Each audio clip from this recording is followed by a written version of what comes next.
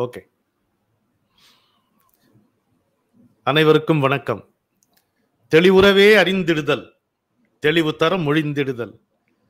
சிந்திப்பார்க்கே களிவளர உள்ளத்தில் ஆனந்த கனவு பல காட்டல் கண்ணீர் துளிவர உள்ளுருக்குதல். இங்கிவையெல்லாம் நீ அருளும் தொழில்களன்றோ ஒளி வளரும் தமிழ்வாணி அடியனேற்கிவை அனைத்தும் உதவுவாயே. அன்பர்களே இரண்டு மாத விடுமுறைக்கு பிறகு மீண்டும் கண்ணதாசனை கொண்டாட வந்திருக்கிறோம். காலங்களில் அவன் வசந்தம் நிகழ்ச்சியின் அறுபத்தி ஒன்றாம் பகுதிக்கு ஸ்ரீகிருஷ்ணா ஸ்வீட் சார்பிலும் பாரதிய வித்யாபவன் சார்பிலும் தினமலர் யூடியூப் சார்பிலும் புதுயுகம் தொலைக்காட்சி முகநூல் சார்பிலும் உங்களை அன்புடன் வரவேற்கிறேன். இந்த நிகழ்ச்சி எப்பொழுதும் போல் நேரலையாக உலகமெங்கும் ஒளிபரப்பாகி கொண்டிருக்கிறது. கொஞ்ச நேரம் நாம் இந்த கொரோனா கொடுமை அனைத்தையும் மறந்து கண்ணதாசனை கொண்டாடுவோம். ஏனென்றால் வாழ்க்கையினுடைய எல்லா துறைகளுக்கும் மனத்தினுடைய எல்லா நிலைகளுக்கும் ஏற்ற பாடல்கள் எத்தனையோ கவியரசர் நமக்கு எழுதி தந்திருக்கிறார். எனவே அவரை கொண்டாடுவோம். ஒவ்வொரு முறையும் நாம் கண்ணதாசனுக்கு ஒரு வாழ்த்துடன் இந்த நிகழ்ச்சியை தொடங்குவோம். இன்றைக்கும் அவரை வாழ்த்துவோமா? கண்ணதாசனுக்கு வாழ்த்து. புலவனென்றோ அறிஞனென்றோ புகழ வரவில்லை உன்னை. பூ போன்ற சொற்களாலே புரட்டி விட்டாயே என்னை இல்லையா? புலவனென்றோ அறிஞனென்றோ புகழ வரவில்லை உன்னை பூ போன்ற சொற்களாலே புரட்டி விட்டாயே என்னை. கலகமே மலிந்திருக்கும் ககனத்தில் தோழாமல் கற்கண்டு சொல்லெடுத்து கரைய வைத்தாயே என்னை. நிலவுக்கும் சொல்லாலே நெகிழ்ச்சி தரும் கண்ணதாசா. நிலவுக்கும் சொல்லாலே நெகிழ்ச்சி தரும் கண்ணதாசா. நின்னை ஒன்று கேட்கின்றேன் நின்னை நீ அறிவாயோ? உலகம் சுழன்று ஒரு நாள் ஓய்ந்திடலாம். படைப்பு மீண்டும் உருவாகி கருவாக உன் பாடல் ஊக்கம் தரும். உலகம் உலகம் சுழன்று ஒரு நாள் ஓய்ந்திடலாம். படைப்பு மீண்டும் உருவாகி கருவாக உன் பாடல் ஊக்கம் தரும். இன்றைக்கு சிறப்பு விருந்தினராக நம்முடன் இணைந்திருப்பவர் என்னுடைய இனிய நண்பர் அவருடைய பரம ரசிகன் நான் பலவிதமான சிறப்புகள் வாழ்ந்தவர். உண்மையிலே இவரை பற்றி நம்ம சொல்ல வேண்டுமானால் இந்த நிகழ்ச்சி முழுக்க அவரை பற்றி பேசிட்டு இருக்கலாம் காலச்சக்கரம் டி. ஏ. நரசிம்மன் அவர்கள் அவரை இருகரம் கூப்பி உங்கள் அனைவரின் கரவொலியோடும் ஆ கேட்குது அவரை வரவேற்கிறேன். அவரை ஹிந்து ஆங்கில நாளிதழில் நிர்வாக ஆசிரியராக பணியாற்றுகிறார். அது அவருடைய தொழில். எழுத்தே அவருடைய இயல்பு. உயிரினுடைய இயல்பு அவருக்கு. அதில் ஒரு சரித்திர நாவலாசிரியர். இன்றைக்கும் அதிக இன்றைக்கே அதிக புகழ் பெற்றிருக்கின்ற கவனிக்கப்படுகின்ற சரித்திர நாவலாசிரியர். நாளைக்கு அதிகமாக மரியாதையுடன் கொண்டாடி பேசப்பட போகின்ற ஒரு சரித்திர நாவலாசிரியர். ஏன் கேட்டிங்கன்னா சரி வரலாற்று புதினங்கள் எழுதுவது நமக்கு புதிதில்லை. ஆனால் அது உண்மையிலேயே வரலாற்று ஆராய்ச்சியோடு எழுதுவது என்பது புதிதுதான். அந்த புதிய பாதையை போட்டுக்கொண்டிருக்கிறார் என்னுடைய இனிய நண்பர் அவரை நாம் வரவேற்கிறோம். அவர் யாரும் சொல்லவே முடியல. நான் அவர் அடிக்கடி கேட்பேன். சார் நீங்க ஒரு ஆளா இல்ல பத்து பதினஞ்சு பேர் சேர்ந்திருக்கீங்களா நீங்க? ஏன்னா அவ்வளவு காரியம் அவர் எப்படிதான் செய்ய முடியுதோ அவரால். நீங்கள் பல்லவர் காலத்து பழைய கல்வெட்டா? பராந்தக சோழனின் பக்கத்து வீடா? படுத்த வரதனின் பழைய துணையா? பாவை குந்தவையின் பார்வையை அறிந்தவரா? சொல்லி முடியாத சுறுசுறுப்பின் திருவுருவே? சொல்லி முடியாத சுறுசுறுப்பின் திருவுருவே சொல்லாத கதைகளை சொல்லித் தொடர்பவரே. சூக்குமங்கள் மிக உள்ள சோதரரே சுஷ்பமான மனுஷர் அவர். சூக்குமங்கள் மிக உள்ள சோதரரே எனது தமிழ் சொல்லெடுத்து வரவேற்றேன். சுவை நவமும் பகிர்வீரே என்று சரித்திர நாவலாசிரியர் இந்து பத்திரிகையின் நிர்வாக ஆசிரியர் இதற்கெல்லாம் மேலாக சித்ராலயா கோபு அவர்களின் திருமகன் அதற்கும் ஒரு படி மேலாக சொல்ல வேண்டுமென்றால் எழுத்தாளரான அவருடைய தாயாரின் ஆசிகளை பெற்ற திருமகன். அவரை அன்புடன் வரவேற்கிறேன். இனி நீங்கள் மட்டுமல்ல நானும் அவர் வசம். அனைவருக்கும் இனிய மாலை அனைவருக்கும் இனிய மாலை வணக்கங்கள். கொரோனாவின் கோர தாண்டவத்தால் கொள்ளை கொள்ளையாக நமது நட்பும் சுற்றமும் மறைந்து போக சோகத்தால் சித்தம் பேதலித்திருக்கும் இவ்வேளையில் நம் வாழ்வில் மீண்டும் வசந்தத்தை பிறக்க செய்ய வேண்டும் என்கிற புது உத்வேகத்துடன் இரண்டு மாதங்களாக நின்றிருந்த காலங்களில் அவன் வசந்தம் மீண்டும் இதோ இனிது தொடங்கிவிட்டது. தனது தேமதுர குரலால் அமுதமாகிய கவிஞர் கண்ணதாசனின் பாடல்களை இசைக்கவி ரமணன் பாட நானும் ஒரு பூசாரியாக இந்த ஆராதனையில் பங்கு கொள்கிறேன். கவிஞர் பாட்டுகள் என்னும் பட்டி இறகால் ரணமாகி போன நமது இதயங்களை அவர் வருடி கொடுக்க போகிறார். சீர்மிகு கருத்துக்களை கொண்டு நமது சிந்தையை சமன் செய்வோம். இது அறுபத்தி ஒன்றாவது நிகழ்ச்சி என்கிறார். பொருத்தமாகத்தான் என்னை அழைத்திருக்கிறார். காரணம் வரும் புத்தாண்டில் அகவே அறுபதில் காலடி எடுத்து வைக்கிறேன். எனக்கு எனக்கு கவிஞர் கண்ணதாசன் உண்ணும் உணவு உடுக்கும் உடை பருகும் நீர் மற்றும் குதப்பும் வெற்றிலை.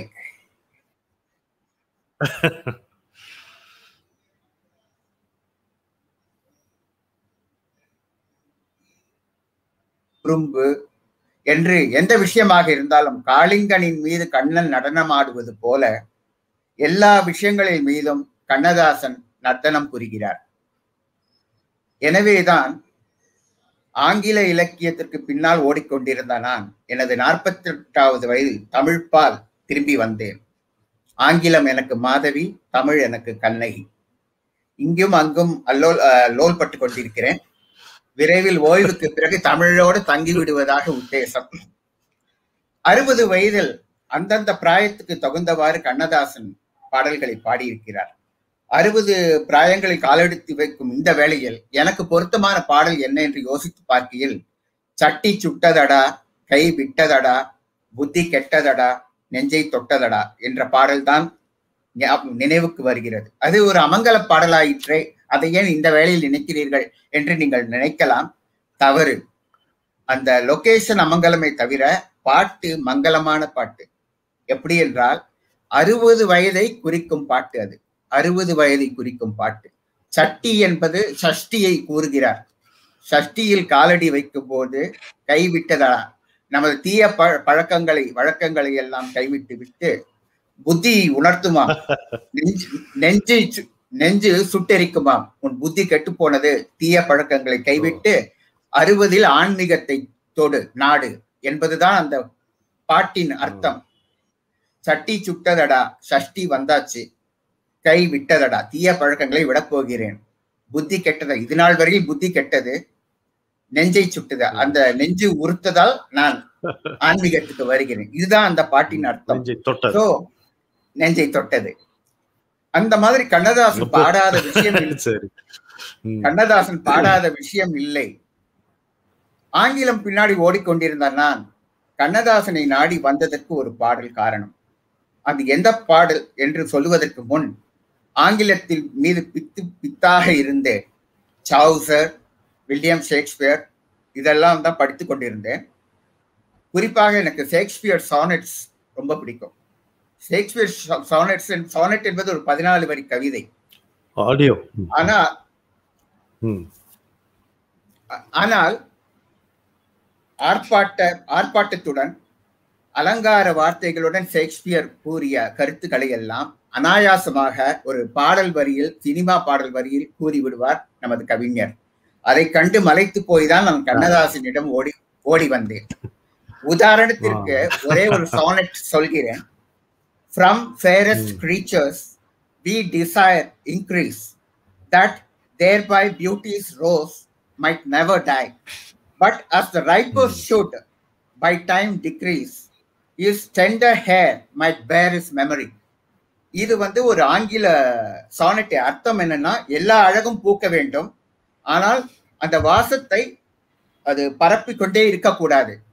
மாற்றத்திற்கு எவல்யூஷனுக்கு வழிவிட வேண்டும் அந்த பூ. தனது வாரிசுகளுக்கு வழிவிட வேண்டும். இதுதான் அந்த பாட்டின் கருத்து. வாரிசு ஏற்படுவ முக்கியத்துவத்தை ஷேக்ஸ்பியர்ஸ் கூறுகிறார். அதை ஒரு படத்தில் ஜஸ்ட் ஒரு லைக் ஜஸ்ட் லைக் தட் விளக்கி விடுகிறார் கண்ணதாசன். அன்னை என்கிற படம். பானுமதி அம்மா பாடுவாங்க. அந்த எவல்யூஷனும் அதுல இருக்கும். அந்த வாரிசு இயக்கங்களும் அதுல இருக்கும். வாரிசு இல்லாத இயக்கமும். பூவாகி காயாகி கனிந்த மரம் ஒன்று. பூவாமல் காய்க்காமல் கிடந்த மரம் ஒன்று. கிடந்த மரம் ஒன்று.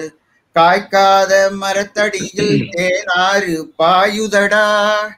கனிந்து விட்ட சின்ன மரம் கண்ணீரில் ஆடுதடா கண்ணீரில் ஆடுதடா. அந்த எவல்யூஷன் தியரி அந்த வாரிசு இல்லாத அந்த ஏக்கங்கள் எல்லாம் இந்த பாட்டுல. அவர் வந்து முப்பது சானட்ல சொன்னதெல்லாம் இவர் வந்து ஜஸ்ட் லைக் தட் ஒரு பாடல அஞ்சு நிமிஷம் பாட்டுல சொல்லிடுவார். எவ்வளவு எளிமையா சொல்லிட்டு போயிட்டாரு எளிமையா சொல்லிட்டு போயிட்டாரு. எனக்கு வந்து இந்த பாட்டுக்கு பின்னாடி ஒரு நகைச்சுவை இன்சிடென்ட் இருக்கு அதுக்கப்புறம் அவர் பாடுவாரு. அந்த இன்சிடென்ட்டை சொல்லிடுறேன். அதாவது nineteen sixty five war Pakistan India Lal Bahadur Shastri வந்து ஜெய் ஜவான் ஜெய் கிசான் ராம்லீலா மைதானத்தை சொல்றாரு. காமராஜர் என்ன சொன்னாரு? திரையுலக பிரமுகர் சிவாஜி கணேசர் கூப்பிட்டு நீ எல்லையில போய் அவங்களுக்கு உற்சாகப்படுத்து ராணுவ வீரர்களை. So Sivaji Gemini Savitri Chandrababu Kannadasan M S Viswanathan எல்லாரும் போறாங்க. டெல்லி போன பிறகு அங்கேருந்து இல்லூஷன்ற ஒரு விமானத்துல அல்வாரா பஞ்சாப்ன்ற பகுதிக்கு போறாங்க எல்லைக்கு. அது வந்து ராணுவ விமானம் அதுல சீட் எல்லாம் கிடையாது இருக்கை எல்லாம் கிடையாது. எல்லாரும் மரப்பலகை இருக்கும் சைட்ல அதுலதான் உட்காரணும். அந்த ராணுவ ராணுவ விமானம் வேகமா கிளம்புறது கண்ணதாசன் பயந்து போய் பக்கத்துல இருக்கிற சந்திரபாபு கட்டி பிடிச்சிக்கிறாரு. உடனே எதிர இருந்த ஏஎல் ஸ்ரீனிவாசன் அவர் அண்ணா என்ன முத்து பயந்தாங்கொழியா இருக்கு இதுக்கு போய் பயப்படுறிய? அப்படின்னு சொல்றாரு. உடனே பயப்படாம கண்ணதாசன் சொல்றாரு பயப்படாம என்ன பண்ணுது? என்னை நம்பி பூமியில பதினோரு குழந்தை இருக்கு அப்படின்னு சொல்றாரு. உடனே சந்த் சந்திரபாபு சொன்னாரு இந்த ஆல்டிடியூட் இறைச்சே பதினோரு குழந்தைன்னு சொல்றாரு. இன்னும் உயரத்துக்கு போக குழந்தை எண்ணிக்கை அதிகரிச்சுட்டே போகும் அப்படின்னு சந்திரபாபு சொல்றாரு. அப்போ கவிஞர் இந்த பாட்டை பாடுறாரு. பூவாகி காயாகி கனிந்த மரம் ஒன்று தான் ரொம்ப ஃபர்டைல் அப்படின்னு சொல்றாரு. இப்போ வந்து இந்த பாட்டு அவர் பாட போறது இல்லை இதே படத்துல வர புத்தியுள்ள மனிதர் எல்லாம் வெற்றி காண்பதில்லை. அந்த பாட்டு. இதுல ஐரணி ஐரணி வேதனையான விஷயம் என்னன்னா இந்த பாட்டை பாடி நடிச்ச சந்திரபாபுவே இந்த பாட்டுக்கு ஒரு உதாரணமா போயிட்டாரு. அது ஒண்ணுதான் வேதனையான விஷயம். இப்போ அவர் பாடுவாரு. இந்த- இந்த பாடல் வந்து வாழ்க்கையினுடைய பல நிகழ்ச்சிகளுக்கு பல துறைகளுக்கும் பொருந்தும். நீங்க அரசியல் சமூகம் அறிவியல் ஆன்மீகம் எந்த துறை எடுத்துட்டாலும் கவியரசர் கண்ணதாசனுடைய இந்த வார்த்தைகள் அதற்கு பொருந்தும். இத மனசுல வச்சுக்கிட்டு இந்த பாட்டை நம்ம சுவைப்போம். பணம் இருக்கும் மனிதரிடம் மனம் இருப்பதில்லை. மனம் இருக்கும் மனிதரிடம் பணம் இருப்பதில்லை. பணம் படைத்த வீட்டினிலே வந்ததெல்லாம் சொந்தம். பணம் இல்லாத மனிதருக்கு சொந்தம் எல்லாம் துன்பம். டடரும் டட்டும். புத்தியுள்ள மனிதர் எல்லாம் வெற்றி காண்பதில்லை. வெற்றி பெற்ற மனிதர் எல்லாம் புத்திசாலி இல்லை. புத்திசாலி இல்லை. பருவம் வந்த அனைவருமே காதல் கொள்வதில்லை. காதல் கொண்ட அனைவருமே மனமுடிப்பதில்லை டுட்டுரு டு. மனம் முடித்த அனைவருமே சேர்ந்து வாழ்வதில்லை. சேர்ந்து வாழும் அனைவருமே சேர்ந்து போவதில்லை. புத்தி உள்ள மனிதர் எல்லாம் வெற்றி காண்பதில்லை. வெற்றி பெற்ற மனிதர் எல்லாம் புத்திசாலி இல்லை. புத்திசாலி இல்லை. அருமையான பாட்டு எல்லா துறைக்கும் பொருந்தக்கூடிய ஒரு பாட்டு. அவரே உதாரணமா இருந்தார் அதுக்கு ஆமா. இதுல ஒரு வருத்தம் என்னன்னா இந்த வரி இந்த இதுல ஒரு வரி வரும். சேர்ந்து வாழ்ந்த அனைவருமே சேர்ந்து போவது சேர்ந்து ஆனா இந்த கொரோனால அண்ணன் தம்பி. அக்கா தங்கை கணவன் மனைவி அப்பா அம்மா எல்- எல்லாமே. ஒண்ணா போறாங்க. ரொம்ப வருத்தமா இருக்கு. இந்த பாட்டை பொய்ப்பி இப்படியா பொய்ப்பிக்கணும். கொரோனா. வருத்தமான. விஷயம். அடுத்தது இன்னும் ஒரு நிமிஷம் இதுல. ஒரு நிமிஷம். இந்த பாட்டை பார்க்கும்போது ஒரு குரல் ஞாபகம் வருது. ஒரு இலக்கிய ஒரு கோணத்துல இருந்து பார்க்கும்போது அறத்தாறு இதுவன வேண்டா சிவிகை பொறுத்தானோடு ஊர்ந்தான் இடை அப்படின்னு ஒரு அருமையான குரல். நரசிம்மன் சாருக்கு பின்னால திரு திருவள்ளுவர் நிக்கிறாரு. அதை பார்த்தோன்னு நமக்கு ஞாபகம் வந்துடுச்சு. அதாவது ஒருத்தன் பல்லக்கில் போகிறான் இன்னொருத்தன் பல்லக்க சுமந்துட்டு போகிறான் அவ்வளோதாண்டா விஷயன்றாரு அது அறத்தினுடைய வழி ஆறுனா வழி தர்மத்தினுடைய வழி இதுன்ட்டு நீ அங்கே போய் சொல்ல வேண்டாம் அவனிடம் போய் சொல்ல வேண்டாம் இவனிடமும் சொல்ல வேண்டாம் என்று ஒரு விளக்கம் சொல்வார்கள். புத்தியுள்ள மனிதரெல்லாம் வெற்றி காண்பதில்லை. வெற்றி பெற்ற மனிதரெல்லாம் புத்திசாலி இல்லை. சிவிகை பொறுத்தானோடு ஊர்ந்தான் இடை. காலசையார் வாழுவதும் கண் துஞ்சார் வீழுவதும் நூலசைவில் மாறிவிடும் கூத்து. வாழ்ந்தவன் திடீர்னு வீழ்வதும் வீழ்ந்தவன் எங்கேயோ போதும் முட்டா பயலை எல்லாம் தாண்டவக்கோனே காசு முதலாளி ஆக்குதடா தாண்டவக்கோனேட்டு ஒரு பாட்டு வரும். பராசக்தியில வரும். அது மாதிரி இந்த அருமையான பாடலுடன் தொடங்கி இருக்கும் நரசிம்மன் அவர்களுக்கு ஒரு பாராட்டு தெரிவித்து அடுத்த பாடலுக்குள் நுழைவோம். கம்பன் வீட்டு கட்டுத்தறியும் கவி பாடும். கவிஞர். வீட்டு குட்டி நாயின் கற்பனை வளமும் கரிகெட்டு ஓடும். அப்படிதான். கண்ணதாசன் வீட்டுல எல்லாமே கவி பாடும். கண்ணதாசன் வந்து சிற்றிலக்கியங்கள் சங்க இலக்கியங்கள் பாசுரங்கள் சித்தர் பாடல்கள் எல்லாவற்றையும் கரைத்து குடித்தவர் ஆனால் அவரை மிகவும் பாதித்தவர் கவி சக்கரவர்த்தி கம்பர். அதாவது ஒரு சீன் பாடுறாரு. ராமனும் லக்ஷ்மணனும் மிதிலா போறாங்க. அவ கால் காலடிப்பட்டு கல் பெண்ணாகியது. அகலிகை சாப விமோச்சனம் பெற்றார் விஸ்வாமித்திரர் வாயிலாக கம்பர் பாடுகிறார். இவ்வண்ணம் நிகழ்ந்த உண்மை. இனி இந்த உலகுக்கெல்லாம் ஒய்வண்ணம் அன்றி மற்றொரு துயர் வண்ணம் கூறுவதுண்டோ மைவண்ணத்து அரக்கி போரில் மழை வண்ணத்து அண்ணலே. உன் கைவண்ணம் அங்கு கண்டேன் கால் வண்ணம் இங்கு கண்டேன். இதுதான் பாசம் படத்துல பால் வண்ண பருவம் கண்டு வேல் வண்ண விழிகள் கண்டு மா மீ மான் வண்ணம் நான் கண்டு வாடுகிறேன். அந்த பாட்டுக்கு அது ஒரு இது. அதே மாதிரி தோல் கண்டேன் தோளே கண்டேன். அந்த பாட்டுக்கு ஒரு இன்ஸ்பிரேஷன் அந்த இதய கமலம். இந்த பாட்டு. கம்பனோட. சோ கம்பன் அவரை மிகவும் பாதிச்சிருக்காரு. ஆனா இப்போ இவர் பாட போற போர் பாட போற ஒரு அடுத்த பாடல் வந்து கல்லையும் கரைய வைக்கும் ஒரு பாடல். அதாவது சாணக்கியருக்கு ஒரு பழக்கம். என்னன்னா ஒரு மன்னனா தன்னை கற்பனை பண்ணிப்பார். ஒரு காவலனா ஒரு கவிஞனா ஒரு பிச்சைக்காரனா ஒரு பெண்ணா ஒரு விரங்கா அந்த மாதிரி தன்னையே கற்பனை பண்ணி அந்தந்த சூழ்நிலை எப்படி நடந்துக்கணும் அப்படின்னு நினைச்சு பார்ப்பாரு. அப்ப அந்த மாதிரி ஆளுங்களால் தான் மற்றவர்களோட உணர்ச்சிகளை புரிஞ்சுக்க முடியும். கவிஞரும் அப்படிதான். ஒரு கவிதை எழுதுறதுக்கு முன்னாடி தன்னை வந்து அந்த கால கதாபாத்திரமா மாத்திப்பாருன்னு நினைக்கிறேன். ஏன்னா ஒரு பால்ய விதவையின் ஏக்கங்களை மிக அழகாக படம் பிடித்து காட்டினார் பாக்கியலட்சுமி படத்தில் மாலை பொழுதின் மழக்கத்தில் ஏனா இது எல்லாரும் ஒரு தவறா நினைக்கிறாங்க. பால்ய விவாகம் சதி எல்லாம் நம்ம சாத்திரங்களில் கூறப்பட்டவை. சாத்திரங்களுக்கும் இதுக்கும் சம்பந்தமே இல்லை. ஹிஸ்டாரிக்கலா ரிசர்ச் பண்ணா இந்த பால்ய விவாகம்லாம் போர்க்காலத்துல பிரெஞ்சு டூப்ளே பாண்டிச்சேரியை ரூல் பண்ண போது அந்த பெண்களுக்கு அந்த பகுதி பெண்களுக்கெல்லாம் கல்யாணம் ஆகாத பெண்களுக்கெல்லாம் ஆபத்துகள் இருக்குன்னு சொல்லி பால்யத்துல விவாகம் பண்ணி அனுப்பிடுவாங்க. விழுப்புரம்ல திருவாரங்கம் அந்த பகுதியிலாம் இது வழக்கமா இருந்தது. பால்ய விவாகம் ஏன் வந்ததுன்னா படையெடுப்புகளுக்கு பயந்துதான். ஸோ வயசானவர்களுக்கு கூட கல்யாணம் பண்ணி கொடுத்துருவாங்க பாதுகாப்புக்காக. அவங்கெல்லாம் அந்த காலத்து பெற்றோர்கள் என்ன சினிமா ஹீரோவா சண்டை போட இப்படிதான் அவங்களால பெண்களை காப்பாற்ற முடிஞ்சது. அப்போ வந்து ஒவ்வொரு அந்த ஜெனரேஷன்ல பால்ய விதவைகள் அதிகம். வடநாட்டில் இன்னும் மோசம். அவங்கள வந்து பிருந்தாவனத்தில் அர்ப்பணிச்சிருவாங்க விதவியான உடனே. ஒன்பது வயசுலயே பத்து வயசுலயே. நம்ம ஊர்லயாவது வீட்டோட வச்சுக்கிட்டாங்க. அந்த பால்ய விதவைகளின் ஏக்கங்களை பிரதிபலிக்கும் இந்த பாடல் எங்க கேட்டாலும் என்ன அப்படியே உருக்கிடும். பெண்கள் அந்த காலத்துல எவ்வளவு கஷ்டப்பட்டிருக்காங்க.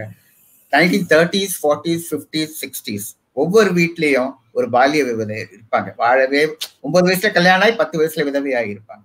அந்த பாட்டு இந்த பாட்டை நினைச்சல எனக்கு அந்த அந்த சரித்திர கால சம்பவங்கள்லாம் நினைவுக்கு வரும். அதை இப்போ அவர் பாட போறார். ஒரு சின்ன அறிவிப்பை சொல்லணும். புத்தி உள்ள மனிதர் எல்லாம் என்று என்பது அன்னை படத்தில் வெளிவந்த பாடல் என்பது நரசிம்மனியா குறிப்பிட்டார். ஆயிரத்தி தொள்ளாயிரத்தி அறுபத்தி ரெண்டாம் ஆண்டு வெளிவந்த படம் ஆர் சுதர்சனம் அவர்களுடைய இசையமைப்பு. அதை நம்ம மனதில் வாங்கி கொள்ள வேண்டும். இப்போ இவர் சொல்லியிருக்கிற இந்த பாட்டு பாக்யலட்சுமி கவிஞருடைய சொந்த படம் நினைக்கிறேன். விஸ்வநாதன் ராமமூர்த்தி அவருடைய இசையமைப்பில் பி சுசீலா அவர்கள் அருமையாக பாடியிருப்பார்கள். ஆயிரத்தி தொள்ளாயிரத்தி அறுபத்தி ஒன்றாம் ஆண்டு வெளிவந்த படம். என்னுடைய தங்கை போனா மிக அழகாக இந்த பாடல் கண்ணஹாசன் பாடல்களை எல்லாம் பாடுவார்கள். அவங்கள்ட்ட சொல்லிட்டு இருந்தேன் இந்த மாதிரி. நரசிம்மன் சார் கூட ஒரு ப்ரோக்ராம் பண்ணுறேன் அதில் இந்த மாலை பொழுதின் மயக்கத்திலே பாடல் அவர் தேர்ந்தெடுத்திருக்காரு. நான் வந்து ஒரு பத்து வயது சிறுவனாக இருந்த பொழுது சென்னையில் சூளைமேட்டில் லயலா ஸ்டாஃப் குவார்ட்டர்ஸ்ல குடியிருந்தோம். அப்பா அப்போ லயலா காலேஜில் எக்கனாமிக்ஸ் டீச் பண்ணிட்டு இருந்தார். இந்த பாட்டு கேட்கும். சாயங்காலம் நாங்கள் விளையாடிட்டு இருக்கும்போது இந்த பாட்டு கேட்கும். என்னை என்னமோ செய்யும் இந்த பாட்டு. அந்த வயசில் இதனுடைய பொருள் தெரியுமா? அந்த காட்சி அமை ஒன்றுமே தெரியாது. ஆனால் it it has affected me என்னமோ ஒரு மனசில் ஒரு துணுக்குற்று போய் கண்கள் பணித்து போய் ஒரு தனிமை நாடினா நல்லா இருக்குமான்னு தோன்ற வைத்த அந்த பாட்டு. பிற்பாடு வந்து நான் அதனுடைய விவரத்தை தெரிஞ்சுக்கிட்டேன்.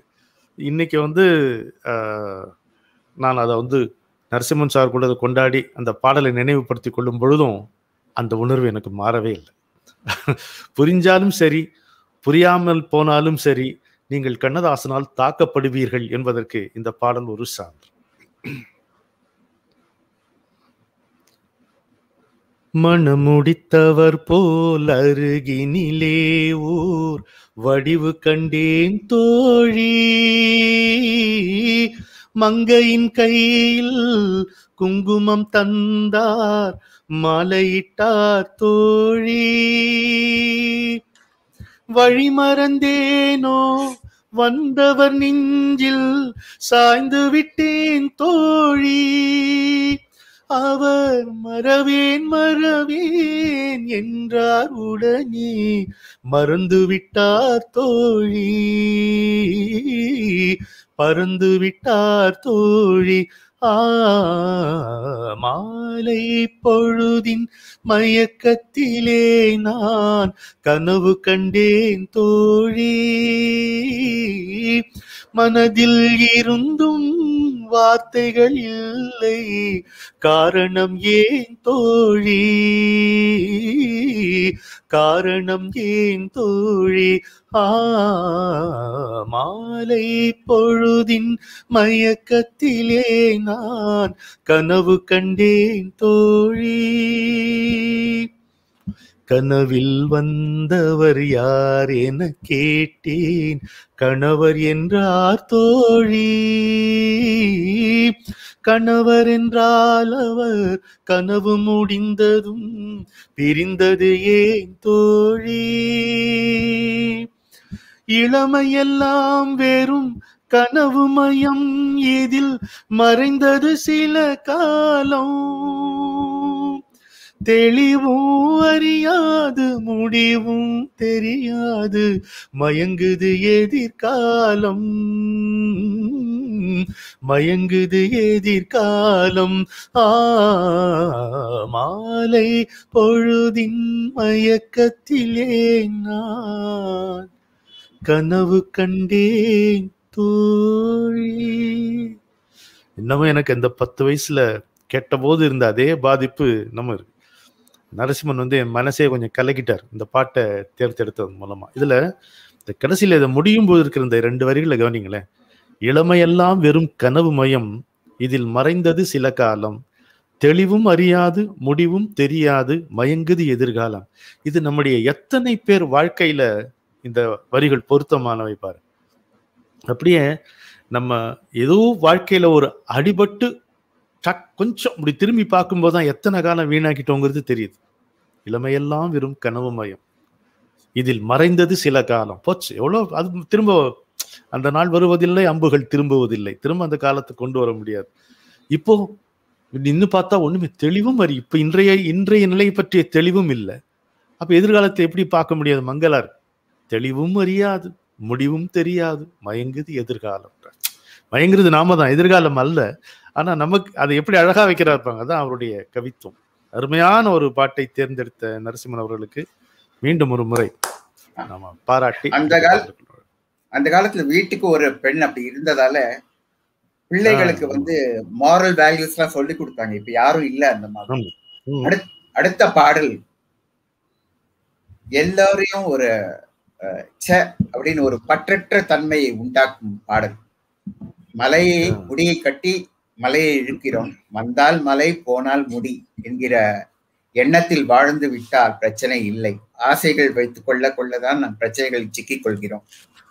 எதையுமே போனால் போகட்டும் போடா என்ற மனோபாவத்தோடு விட்டு கொடுத்து விட்டால் வந்தால் நல்லது வரவிட்டு வராவிட்டால் பரவாயில்லை என்ற அந்த முடிவு நமது மனதில் இருக்க வேண்டும். அந்த பாடல் எனக்கு மிகவும் பிடித்த பாடல். போனால் போகட்டும் பாடல். அதுவும் இவர் குரலில் கேட்டால் அது இன்னும் பிரமாதமாக இருக்கும். அந்த பாடலுக்கு முன்னாடி ரெண்டு கதை இந்த பாடல் தொடர்பு படுத்தி ரெண்டு கதை உண்டு. ஒன்று எம்எஸ்வி. சொல்லி கேட்டிருக்கேன் அந்த எம்எஸ்வி என்ன. சொன்னாருன்னா அவரோட வயலினிஸ்ட் ஒருத்தர் வந்து ஹாஸ்பிட்டல்ல சீரியஸா இருந்தார். எம்எஸ்வி ட்ரூப்ல கண்ணதாசன் வந்து வந்த போது கண்ணதா எம்எஸ்வி மோடுல இல்ல. ரொம்ப வருத்தத்துல இருந்தாரு. வாயில கர்ச்சிஃபை வச்சுட்டு உட்கார்ந்து இருந்தாராம் என்ன காரணம் கேட்டப்போ. இந்த மாதிரி என்னோட குழு வயலினிஸ்ட் வந்து ஹாஸ்பிட்டல்ல இருக்காங்க. கரெக்டா சேதி வந்தது அவர் தவறிட்டாருன்னு. விசு வந்து கண்ணீர் விட்டு அழ ஆரம்பிச்ச உடனே அப்போ வந்து இந்த வார்த்தைகளை சொன்னாராம். போனால் போகட்டும் போடா. இந்த பூமியில் நிலையாய் வாழ்ந்தது யாருடா? அப்படின்னு சொன்னதா ஒரு கதை. இன்னொரு வந்து கண்ணதாசனோட நண்பர் ராமையா அவர் ஒரு கதையை சொல்லியிருக்காரு எழுதியிருக்காரு. என்னன்னா கண்ணதாசன் ஒரு ஹாஸ்டின் கார் வாங்கினாரு. அந்த ஆஸ்டின் காருக்கு அட்வான்ஸா ஆயிரத்தி ஐநூறு ரூபாய் கொடுத்துட்டு நண்பர் ராமையாவோட கார்ல போய் போய்கிட்டு இருக்காரு. ஒரு இடத்துல வந்து ஆக்சிடென்ட் ஆயிடுது. கார் வந்து ஆக்சில் உடஞ்சி போயிடுது. டிரைவர் வந்து பார்த்துட்டு வண்டி உடஞ்சி போச்சுங்க இது போக முடியாது சொன்ன உடனே சரி நீ நான் டாக்ஸியில போறேன். நீ இதை லாரியில கட்டி இழுத்துட்டு போய் அந்த ஓனர் கையிலே கொடுத்துரு. என்ன ஐயா நீங்க ஆயிரத்தி ஐநூறு ரூபாய் முன்பணம் கொடுத்துருக்கீங்களே காருக்கு? போனால் போட்டு போட உயிர் தான் முக்கியம் அப்படின்னு சொல்லிட்டு பாடிட்டு போயிடுறாரு. இந்த பாடத்துக்கு இந்த பாட்டு எழுதினது போனால் போயிட்டு போட பாட்டு எழுதினதுக்கா அவருக்கு ரெம்யூனரேஷன் ஆயிரத்தி ஐநூறு ரூபாய் வந்துதான். உடனே அந்த ராமையாவுக்கு ஃபோன் பண்ணி நீ சொன்னல ஆயிரத்தி ஐநூறு ரூபாய் நஷ்டம்னு அது வந்துடுச்சு அப்படின்னு ஃபோன் பண்ணி சொன்னார். அந்த அருமையான பாடல் அதை இப்ப பாட போறார். இது கண்ணதாசனுடைய காலத்தை வென்ற பாடல்களில் இதுவும் ஒன்று.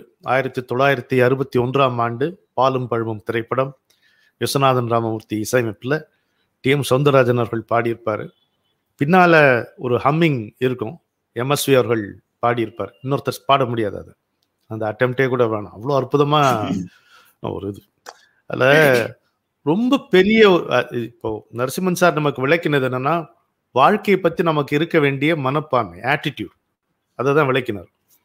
அந்த ஆட்டிடியூடு வந்து இவ்வளோ எளிமையான வார்த்தைகளில் சொல்ல முடியுமா? நீங்க பக்கம் பக்கமா சொல்ல வேண்டியதை போனா போட்டும் போடா. சாதாரணமா நம்ம பேசுற வார்த்தையை எடுத்து அதை பல்லவியா வைக்கிறதுக்கு ரொம்ப தைரியம் தேவை. அது கண்ணதாசனுக்கு இயல்பாகவே இருந்தது.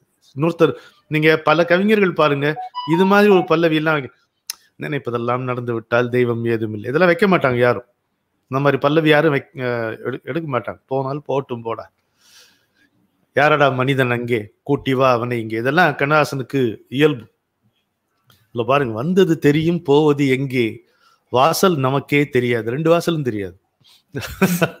வந்தவரெல்லாம் தங்கிவிட்டால் இந்த மண்ணில் நமக்கே இடம் ஏது? வாழ்க்கை என்பது வியாபாரம் அதில் ஜனனம் என்பது வரவாகும் இதில் மரணம் என்பது செலவாகும். இதை விட அதோட உயிர் போகும்போது நம்ம என்னதான் அடிச்சுக்கிட்டாலும் அதை விட்டுட்டு அது அதை நம்ம மீட்க முடியுமா? இரவல் தந்தவன் தான் இது நம்ம ஓனர் கிடையாது நம்ம ட்ரஸ்டி தான். இரவல் தந்தவன் கேட்கின்றான் உயிரையா கேட்கிறான்? இல்ல உடம்ப தான் கேட்கிறான்.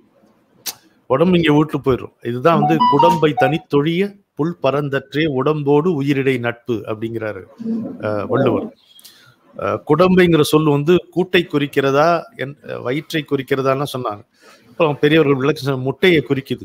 பறவை கூட விட்டு பறந்தா திரும்ப கூட்டுக்கு வர வாய்ப்பு இருக்கு. முட்டையை விட்டு பறந்தா திரும்ப பறவை கூட்டுக்கு திரும்பலாம் முட்டைக்கு திரும்ப முடியுமா என்று என்னுடைய பாரதியார் நாடகத்தில் நான் இதை வசனமா வைத்திருப்பேன் அதைத்தான் இவர் சொல்றார்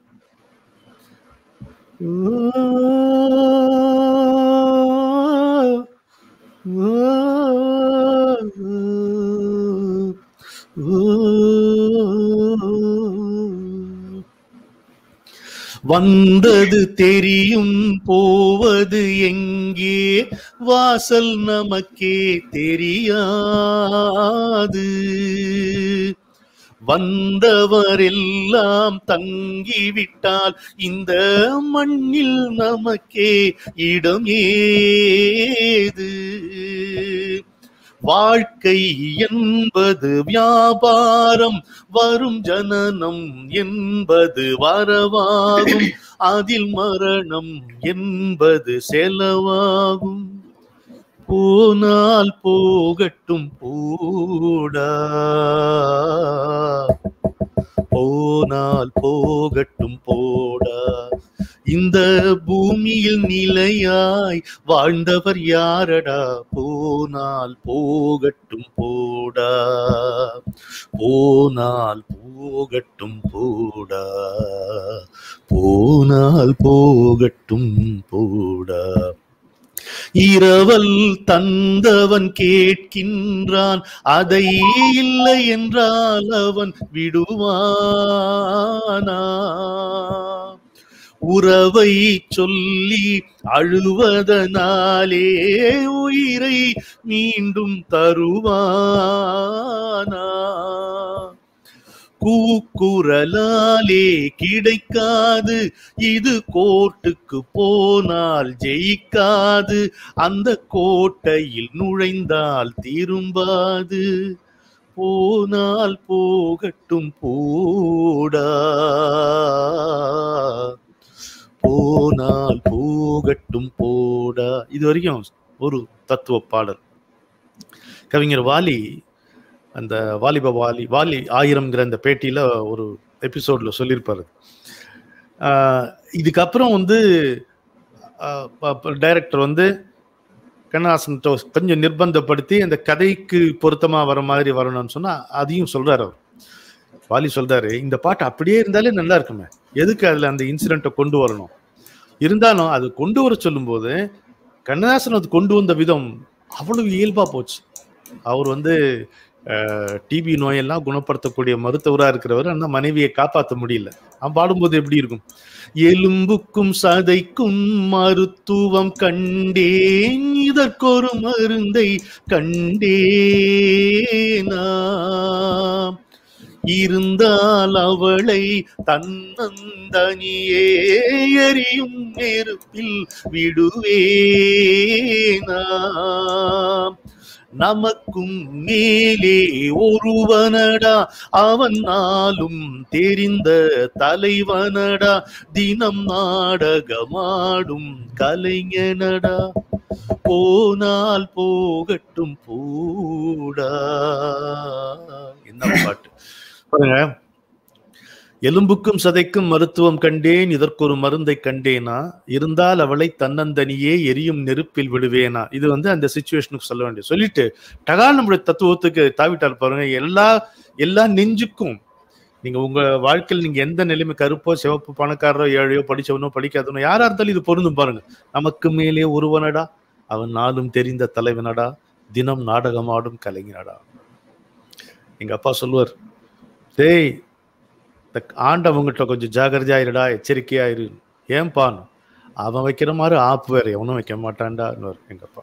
God has a strange sense of humour beware of God என்று சொல்லுவார். அதுதான். அருமையான பாடல்.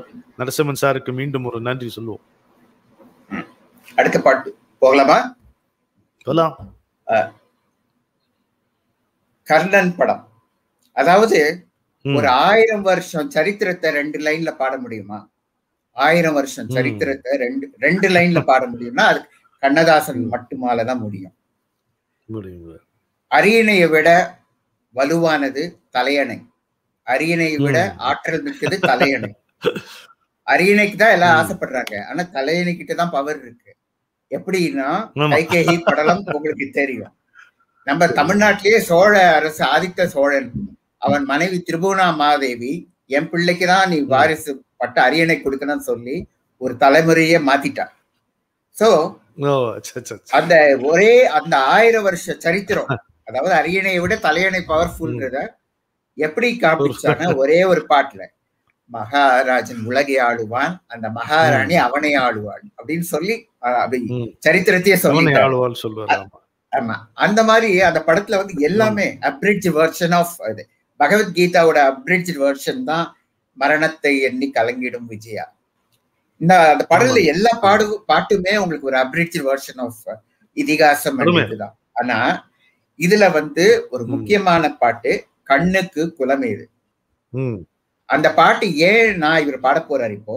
எதுக்காக அந்த பாட்டை சூஸ் பண்ணியிருக்கேன் அப்படின்னு சொன்னேன்னா அவரோட கண்ணதாசனோட டிரான்சிஷன் காட்டுற பாட்டு இது. அதாவது நாத்திகவாதியா இருந்தாரு. சங்கர மடம் எதிர நிந்து மைக்ல ஆர்ப்பாட்டம் பண்ணி பேசினாரு மடாதிபதியை எதிர்த்து. அந்த நாத்திகவாதியா இருந்தவர் ஒரு நாள் கார்ல சின்னப்ப தேவரோட போயிட்டு இருக்காரு காஞ்சிபுரத்துக்கிட்ட ஆக்சிடென்ட் ஆயிடுது. அப்போ வந்து சின்னப்ப தேவர் பெரியவரை பார்க்க வர்றார் மகா பெரியவரை. இந்த மாதிரி கண்ணதாசன் ஹாஸ்பிட்டல்ல ரொம்ப சீரியஸா இருக்கா அவர் வந்து விபூதியை கொடுத்து அவனுக்கு இட்டு இட்டு விடு சரியா போயிடும் அப்படின்னு. இவர் தயங்குறாரு சின்னப்ப தேவர். ஏன் தயங்குறாருன்னா அவர் பூசிக்க மாட்டாரு அவர் நம்பிக்கை இல்ல. அது உங்க மடத்துல இருந்து வந்ததுன்னா நிச்சயம் ஆர்ப்பாட்டம் பண்ணுவாரு அப்படின்னு பயப்ப இல்ல நீ பூசு. ஏன்னா அவருக்கு அவர் சரித்திரம் தெரியாது. அவங்க தாத்தா தான் வரதராஜர் கோயில் தேரை கட்டி கொடுத்தாரு. அவங்க தாத்தா தான் காமாட்சி அம்மன் கோயில் கோபுரத்தை கட்டி கொடுத்தாரு. அது அவருக்கு தெரியாது எனக்கு தெரியும். நீ கூட போய் இட்டு விடு அப்படின்னாரு. அது இட்டு விட்டாரு. அதுக்கப்புறம் கண்ணதாசன் விவரம் தெரிஞ்சு ஒரு பக்குவம் வர ஆரம்பிச்சது. டிரான்சிஷன் வர ஆரம்பிச்சது அப்போ இவரை இன ரீதியா பெரியவரை சில பேர் மேடையில தாக்க அப்போ வந்து அவர் மனசுல தோணின பாட்டு இது. அத அதாவது கருணைக்கு இனமேது அப்படி ஆனா இவர் மேல கருணை காட்டி தானே அவர் இது அமைச்சாரு கண்ணுக்கு குலமேது கருணைக்கு இனமேதுன்னு அந்த வார்த்தைகள் அதை வந்து கண்ணன் படத்துல யூஸ் யூஸ் பண்ணாரு. அந்த பாட்டு அது கேக்குச்சே உங்களுக்கு வந்து அந்த டிரான்சிஷன் தெரியும். அவர் டிரான்ஸ். இது கர்ணன் படத்துல விஸ்வநாதன் ராமமூர்த்தி இசையமைப்பு ஆயிரத்தி தொள்ளாயிரத்தி அறுபத்தி மூன்றாம் ஆண்டு வெளிவந்த படம். உங்களுக்கு எல்லாம் தெரியும். தேனினும் இனிய குரல்ல சுஷலாமையார் பாடியிருப்பாங்க. இதுல என்ன அருமையார் பாலினில் இருந்தே நெய் பிறக்கும். இப்ப டிரான்சிஷன் பத்தி நரசிம்மன் சார் சொன்னார். பரிணாம வளர்ச்சி. பால்னு எடுத்துக்கிட்டா அதுக்கு அடுத்த பரிணாம வளர்ச்சி தயிர். அதுக்கப்புறம் மோர் அப்புறம் வெண்ணெய். அதுக்கப்புறம் கடைசியா நெய். அதுக்கப்புறம் பரிணாம வளர்ச்சி கிடையாது. ஸோ அந்த டிரான்சிஷன்ல லாஸ்ட் பாயிண்ட் நெய். பாலினில் இருந்தே நெய் பிறக்கும். எது அடிப்படையா இருக்கோ அதற்குள்ளதான் எது அனந்தமா இருக்கோ அதுவும் இருக்கிறதுங்கிறத ரொம்ப அழகா சொல்லிட்டாரு. இந்த கருத்தை எனக்கு இப்போ தூண்டி விட்ட நரசிம்மன் சாருக்கு ஒரு நன்றி. எனக்கு தோணுனதில்லை இது இருக்கு அது மாதிரி. பரம்பொருள் கண்டே உயிர் பிறக்கும். பரம்பொருளை கண்டேவா? பரம்பொருள் கண்டேன்னு ரெண்டும் ஒன்று தான் ரெண்டு தமிழ் தமிழில் பொருந்தி வரும் பொருள் பொருந்தி வரும். இறைவனுடைய மேற்பார்வையில் தான் எந்த குழந்தையும் எந்த உயிரும் ஜனிக்கிறது பிறக்கிறது.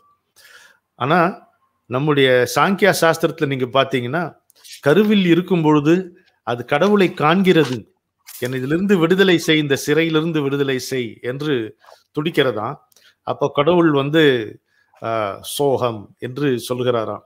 நானே அவன்கிற நினைப்பு அந்த குழந்தைக்கு வருதான் ஆனால் அந்த தாயினுடைய கர்ப்பத்திலிருந்து வெளிவரும் பொழுது கர்ப்பவாசம் விட்டு ககனத்தின் காற்று பட தர்பயன ஞானம் தணலாச்சு அந்த ஞாபகம் போயிடுதான். அப்போ கோகம்ங்கிறது வந்து சோ சோகம்ங்கிறது வந்து கோகம்னு மாறிப்படுது. நான் யார் நான் யார்? கேள்வி கேட்குதான். பரம்பொருள் கண்டே உயிர் பிறக்கும்.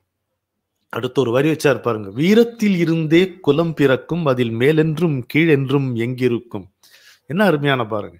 இது யாருக்கு பாடுறார்? ஒரு வீரனுக்கு மனம் கொஞ்சம் சோர்வடைந்திருக்கின்ற ஒரு வீரனுக்கு அவனுடைய மனைவி பாடுகிறாள் இந்த பாட்டு. அப்போ நீ என்ன குலத்தை பத்தி நீ நினைக்கிற? கர்ணனை பழிச்சு சொல்லிடுறாங்கல்ல. சூத்த புத்திர சூத்திர புத்திரகா அல்ல அது தப்பு. சூத்தர்னா தேரோட்டின்னு அர்த்தம். அப்படித்தான் சொல்றாங்க. நம்ம ஆமா நம்ம தமிழ்ல எழுதும் பொழுது மாத்தி தப்பா எழுதிட்டாங்க. அப்படி கிடையாது. நீ இன்னும் என்ன குலம் என்ன? குலம் என்ன இருக்குதுல்ல வீரத்திலிருந்து தானே குலம் பிறக்கும். யா எந்த குடும்பத்தில் ஒரு வீரன் இருக்கிறானோ அவனால் அந்த குலத்திற்கு பெருமை. அது நற்குலமாகிறது உயர்ந்த குலமாகிறது. இதுல மேலென்றும் கீழென்றும் எங்க இருக்கும் இது பகவத்கீதை கருத்து தான். குணத்தினுடைய வெளிப்பாடு தான் இது அப்படிங்கிறது அழகா தோணும் அப்போ நரசிம்மன் சார் சொன்ன மாதிரி கருணைக்கு இனமே இது. அதில் உண்டா. நீ நான் நீ வந்து கருணை மிக்கவன். உன் கை எப்பவும் உயர்ந்தே இருக்கு. கொடுப்பவரெல்லாம் மேலாவார் கொள்பவரெல்லாம் கீழ். தருபவன் இல்லையோ கண்ணா நீ? தருமத்தின் தாயே கலங்காதே என்று ஒரு அருமையான தேறுதல் பாட்டு. ஆறுதல் பாட்டு மனைவி பாடுகின்ற ஒரு பாட்டு. இது நம்ம நிறைய நம்மளுக்கே நம்ம பொருத்திக்கலாம். நாம சோர்ந்திருக்கும் பொழுது நம்மை நல்லா தெரிந்த பிறகும் தெரிந்த போதும் கூட நம் மீது அன்பு பாராட்டுகிறவள் அல்லவா மனைவி? அதனால இதை கவனத்தில் கொள்ளலாம் அந்த பாட்டை. பாலினில் இருந்தே நெய் பிறக்கும் கண்ணா பரம்பொருள் கண்டே உயிர் பிறக்கும். வீரத்தில் இருந்தே குலம் பிறக்கும். அதில் மேலென்றும் கீழென்றும் எங்கிருக்கும். கண்ணுக்கு குலமேது. கண்ணா கருணைக்கு இனம் ஏது. கண்ணுக்கு குலமேது. விண்ணுக்குள் பிரிவேது கண்ணா. விண்ணுக்குள் பிரிவேது கண்ணா. விளக்குக்கு இருள் ஏது கண்ணுக்கு குலமேது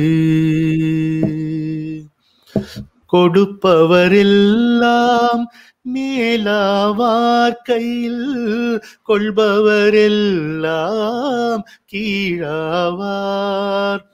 தருபவன் இல்லையோ கண்ணானி.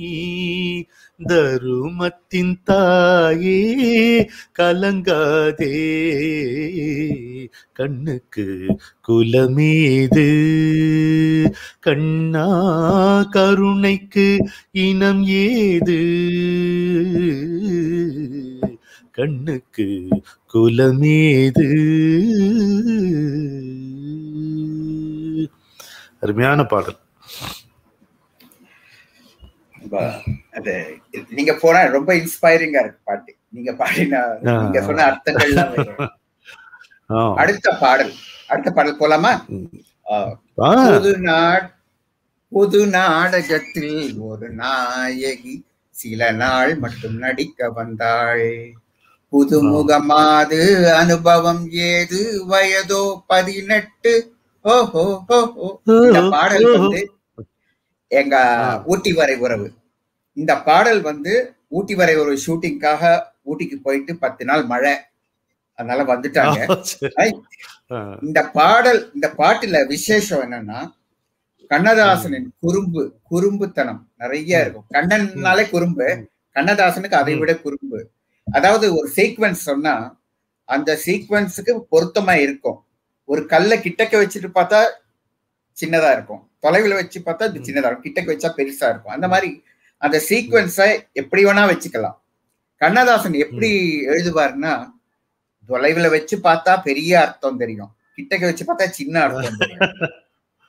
அந்த மாதிரினா அந்த படத்துல கே ஆர் விஜயா வந்து விஜயலட்சுமியோட ஆதாரங்களை எடுத்துக்கிட்டு சிவாஜி வீட்டுல பாலையா பொண்ணு இரண்டாம் தாரத்து பொண்ணுன்னு வந்துருவாங்க.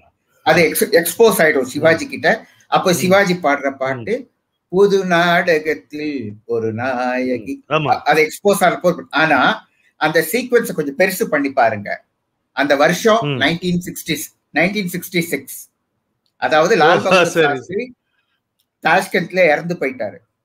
அப்போ வந்து பிரதமர் பதவிக்கு போட்டி வருது நாட்டுல. மொரார்ஜி தேசாய். வர்சஸ் இந்திரா காந்தி. காமராஜ் இந்திரா காந்தியை சப்போர்ட் பண்றாரு. காமராஜ பழைய சில பேர் சப்போர்ட் பண்றாங்க. இந்திரா காந்தி. வெற்றி பெறாங்க பிரதமர் ஆட்சிக்கு பெறாங்க அவங்களுக்கு என்ன அனுபவம் இருக்கு? நேருவோட பொண்ணு. அதை தவிர வேற அப்படியா? அனுபவம் இல்லை. நேருவோட பொண்ணு வேற. அது வந்து காமராஜ் டெம்பரரியா வச்சிருக்காரு. அந்த அம்மா போயிடும். வேற யாரோ ஒருத்தரை வச்சு குறைக்கும் நடத்துவாங்க. ஏன்னா எலெக்ஷன் வரப்போறது அது வரைக்கும் இந்த அம்மா இருக்கட்டும். எலெக்ஷன்ல அப்புறம் பாத்துக்கலாம். இதுதான் பிளான் அப்படின்னு. சொல்லிட்டு பராபரியா நாட்டுல பேசிட்டு இருக்காங்க. இந்த பாட்டை அந்த இதோட ஒப்பிட்டு பாருங்க. நாடகத்தில் ஒரு நாயகி சில நாள் மட்டும் நடிக்க வந்தாள். புதுமுகமாது அனுபவம் ஏது? வயதோ பதினெட்டு. அந்த வயதோ பதினெட்டு இந்தியாவுக்கு வயசு பதினெட்டு. ஃப்ரீடம் வாங்கிட்டு இந்தியாவோட வயசு. பதினெட்டு. அந்த மாதிரி குசும்பு உள்ள ஒரு கவிஞர். அதுதான் அது. ஆமா. அந்த பாட்டை. எங்களுக்கு எங்க தலைமுறையின எங்க தலைமுறையை சேர்ந்தவர்களுக்கு ஊட்டி உரை உறவு வந்து மறக்க முடியாத படம். உங்க அப்பா அவருடைய வசனம் தானே? சித்ராலயா கோப் அவர்களுடைய வசனம். அப்பா அப்பா காட்சிக்கு காட்சி ஒரே சிரிப்பு தான். எல்லா பாடல்களும் அருமையா இருக்கும். அஹ், அதுல ஆயிரத்தி தொள்ளாயிரத்தி அறுபத்தி ஏழாம் ஆண்டு வந்த படம். எம்எஸ்வி அவர்களுடைய இசையமைப்பு. இந்த பாடலை டிஎம்எஸ் அவர்கள் பாடியிருப்பார்கள். நான் இதுக்கு இப்படி ஒரு விளக்கம் கேள்விப்பட்டதுல ரொம்ப சுவாரஸ்யமா இருக்குது. புது நாடகத்தில் ஒரு நாயகி சில நாள் மட்டும் நடிக்க வந்தாள். புதுமுகமாது அனுபவம் ஏது? வயதோ பதினெட்டு. ஓஹோ ஓஹோ. புதுமுகமாது அனுபவம் ஏது? வயதோ பதினெட்டு. புது நாடகத்தில் ஒரு நாயகி சில நாள் மட்டும் நடிக்க வந்தாள். அகப்பட்டு கொண்டாள் மேடையிலே அந்தோ பரி என்னங்க? எல் விஜயலட்சுமி பார்த்தா இந்திரா காந்தியை பாக்குறதா குழப்பிட்டீங்களே பரிய முறை ரெண்டு பேருக்குமே போறது. அகப்பட்டு கொண்டாள் மேடையிலே அந்தோ பரிதாபம் ஆடிய வேடம் கலைந்ததம்மா அடியேன் அனுதாபம். ஒத்திகையில் தூங்கிவிட்டாள் ஏன் ஏன் தெரியவில்லை? நித்திரையில் யாரை கண்டாள் அது நான் தான் எவரும் இல்லை. புது நாடகத்தில் ஒரு நாயகி சில நாள் மட்டும் நடிக்க வந்தாள். மூச்சு விடாமல் பாடுகிறேன் முகத்தில் பாவம் இல்லை. முடிவு சொல்லாமல் ஓடுகிறாய் நீ பெண்ணா புரியவில்லை. வந்த இடம் நல்ல இடம் வந்தால் தெரிந்துவிடும் அந்த சுகம் என்னவென்று வாழ்ந்தால் புரிந்துவிடும் கொஞ்சம் கூட சம்பந்தமே இல்லாத ரெண்டு பேரையும் சேர்த்து ஒரே ஒரே சமயத்துல நினைக்க வச்சுட்டீங்களே சார்? தொடர்ந்து வர பாடல பாருங்க. அவருடைய அரசியல் குசும்பு எல்லாம் அதுல நிறைய இருக்கும். இப்போ அடுத்த படம் சிவந்த மண். இது முழுக்க முழுக்க வந்த இடம் நல்ல இடம். ஒரு நிமிஷம்.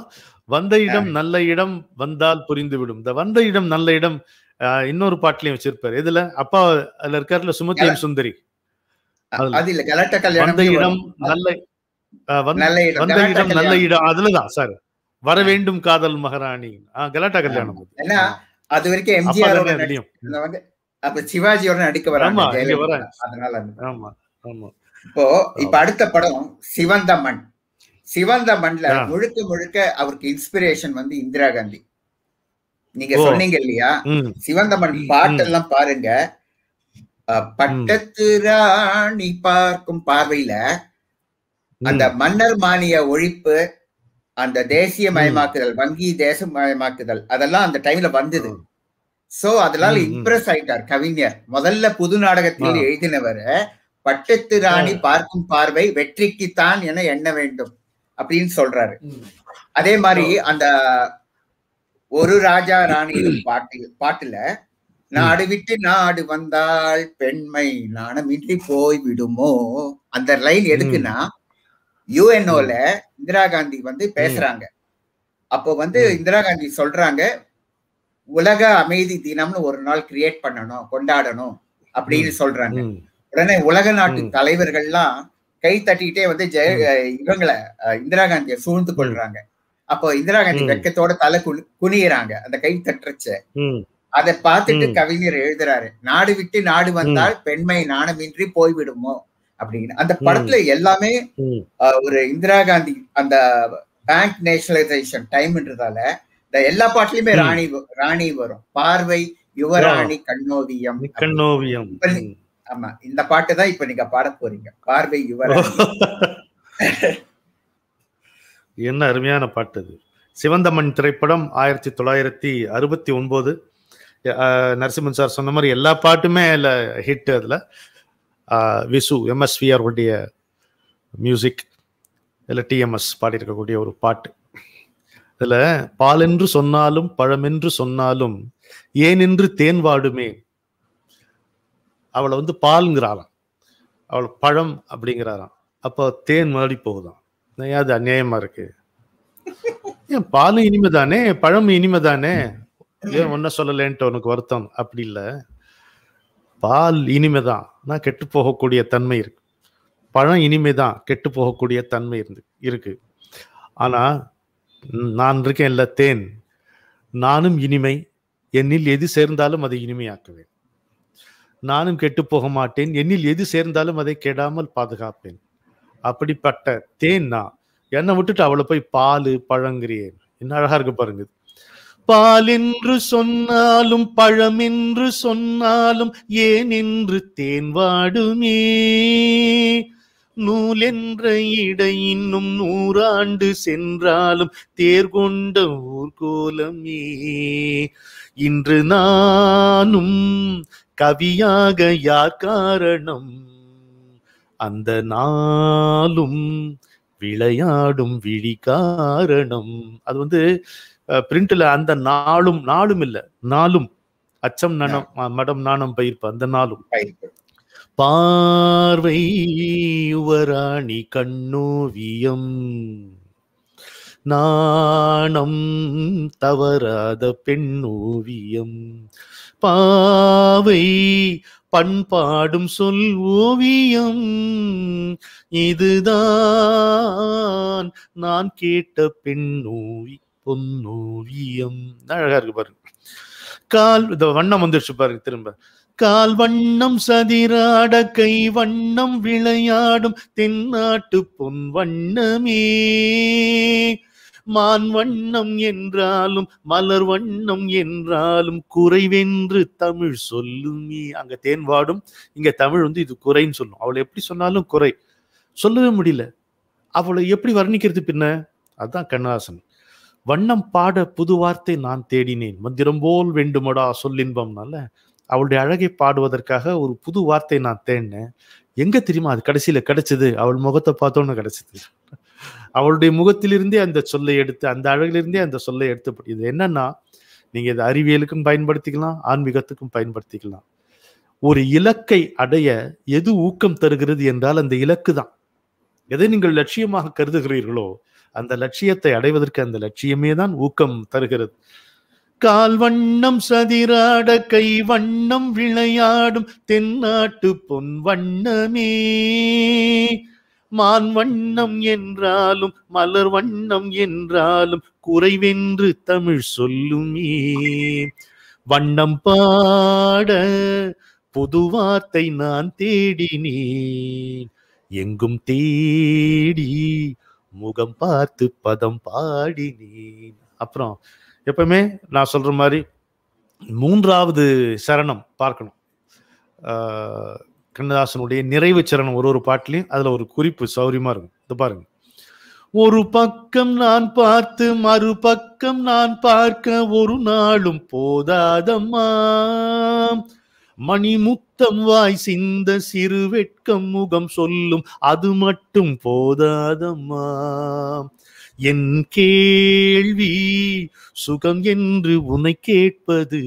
நீ சொல்ல மாட்ட. நான் சொல்வேன். சொன்னாலும் புரியாதது. அருமையான பாட்டு. ரொம்ப ரொம்ப ரொம்ப ரொம்ப நன்றி உங்களுக்கு. இப்ப நீங்க பாடின பாட்டு ம்.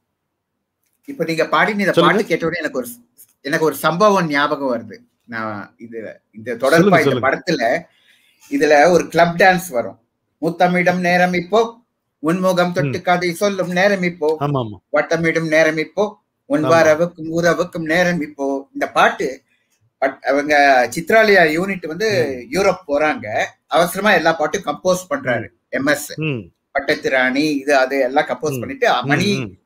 கவிஞர் வந்து கடிகாரம் பாக்குறாரு மணி ஆறு அப்ப அடுத்த பாட்டு கிளப் டான்ஸ் அப்படின்னு சொல் சொல்றாரு அவர். கடிகாரத்தை பார்த்துட்டு கவிஞர் சொல்றாரு போருமே விசு எனக்கு முத்தமிடுற டைம் வந்தாச்சு. அப்படின்றாரு என்ன. என்ன என்ன சொல்றீங்க அப்படின்னாரு எப்பவுமே ஆறு. மணிக்கு நான் உற்சாக உற்சாகப்பான அருந்துவேன் அது வந்து ஆறு. மணிக்கு அது சாப்பிடறதுக்கு முன்னாடி கப்பை நான் வந்து கிளாஸ வந்து முத்தமிடுவேன். அதனால அந்த டைம் வந்தாச்சு முத்தமிடும் நேரம். இப்போ இனிமே நான் கம்போஸ் பண்ண மாட்டேன்.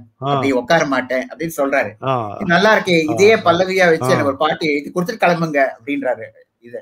அப்போ எழுதின. பாட்டு தான் முத்தமிழ் முத்தமிடும் நேரம். இப்போ அது சம்பவம் ஞாபகம் வந்தது. அது. சோ நீங்க ஏதோ சொல்ல வந்தீங்க சார் இப்போ. ஒரு சின்ன. ஆமா ஒண்ணும் இல்ல. எனக்கு இந்த கான்வர்சேஷன் வரும். நடுவுல. பின்னூட்டங்கள் ஃபீட்பேக் போட்டுட்டே இருப்பாங்க. அது இப்பதான் எனேபிள் ஆச்சு எனக்கு. அதுல நீங்க ஆ, பாத்தீங்கன்னா எத்தனை பேர் எவ்வளவு உற்சாகமா இருக்காருங்க. சந்தியா ரவி கோவிந்தராஜ் சர்மா அப்புறம் கவிஞர் காவிரி மைந்தன் அவர் கண்ணதாசனுடைய தொண்டரடி. பொடியாழ்வார் அவரு. அப்புறம் வாகினி நடராஜன் மாயாசாமி சாரதா கிருஷ்ணன் சுந்தர் கே உங்க நண்பர் நினைக்கிறேன் அவரு. கிருஷ்ணன் சிவசுப்பிரமணியம் அப்புறம் கனடாவிலிருந்து எங்க அக்கா லலிதா மோனி அப்புறம் எம்எஸ்ஆர் ரவி சம்யுதயா ஜேஆர்எஸ் ருக்மணி சம்பத்குமார் இதெல்லாம் உங்க ஃப்ரெண்ட்ஸ் தான் தெரியுது எனக்கு. ராம்ஜி சிவராம் ஆஹ், அப்புறம் உமாதேவின்னு ஒரு அம்மையார். இங்க சிட்லப்பாக்கத்துலேருந்து உடம்பு சரியில்லாத போது கூட டாக்ஸி வச்சுட்டு இந்த நிகழ்ச்சிக்காக வந்துட்டு போவாங்க. இப்போ தூத்துக்குடியில் இருக்காங்க. அழகா. அவங்களும் இந்த நிகழ்ச்சியில கலந்துருக்காங்க ருக்மணி ஆஹ், அவங்க ஜெயா சீதாராமன் ஆமா ஆமா. ஆ அதே. முத்தமிழோட அது காரணம் என்னன்னா இந்த உற்சாகத்துக்கு காரணம். முத்தமிழோட. இந்த கொசூரு தமிழ் சேர்ந்திருக்கு அதனால அது நல்லா இருக்கு இதுவா கொஸ்டின் மோகன் ரமேஷ் கார்த்திகேயன் ஆஹ், ஒரு நிமிஷம் சந்திரமோகன் மோகன் விமலா நடராஜன் கீதா கிருஷ்ணன் அப்புறம் பழனியாண்டி வீரப்பன் இன்பம் பாதி துன்பம் பாதி துன்பம் எதிரில் இன்பம் கனவில் அந்த மாலை பொழுதின் மயக்கத்தில் கஸ்தூரி ரங்கன் இப்படி நிறைய பேர் இதில் சேர்ந்திருக்காங்க. இன்னும் ரெண்டு மூணு பேரையும் அப்படியே சொல்லுவாங்க துளசி வெங்கட ராம் கோபால் உங்கள் நண்பராக இருக்கும். சத்யா ஸ்ரீனிவாசன்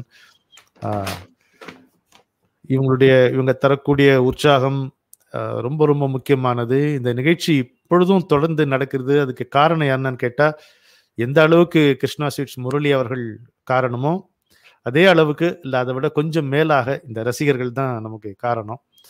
வேதகிரியின் ஆன்மீக சிந்தனைகள் அப்புறம் வேலூர்லேருந்து என்னுடைய இணைய நண்பர் கிருஷ்ணமூர்த்தி அவர் இந்த நிகழ்ச்சியில் ஒரு முறை கலந்துக்கிட்டாரு.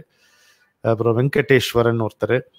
எவ்வளோ பேர் சொல்றது? நான் எத்தனை பேர் சொல்றது? எம் கே ரங்கராஜன் ராமநாதன் சிவராம் அப்புறம் பச்சைன்னு ஒருத்தர். நிறைய காலச்சக்கரம் நரசிம்மனுடைய பல ரசிகர்களை இங்க நான் பார்க்கிறேன். ஆனா நல்ல. காலம் லாக்டவுன் பீரியட் லாரியில எல்லாம் அழைச்சின்னு வர முடியாது அவங்களே.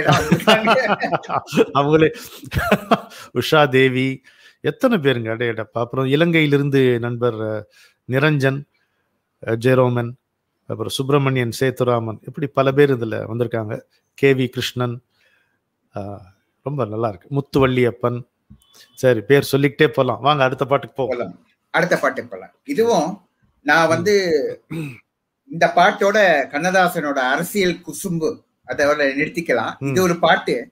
இதுலயே கொஞ்சம் ஸ்லைட்டா அரசியல் குறும்பு பண்ணிருப்பாரு மனிதருள் மாணிக்கம்னு படம். I will sing for you I will. Dance for you ஆட்டம் என்ன சொல்லிடி? அந்த பாட்டு. அதுல வந்து நீங்க பாடுங்க. அந்த டைம்ல நான் வந்து கரெக்டா ஸ்டாப் பண்ணி என்னன்னு எக்ஸ்பிளைன் பண்றேன் அந்த இத. ஐ வில் சிங் அப்பா. For you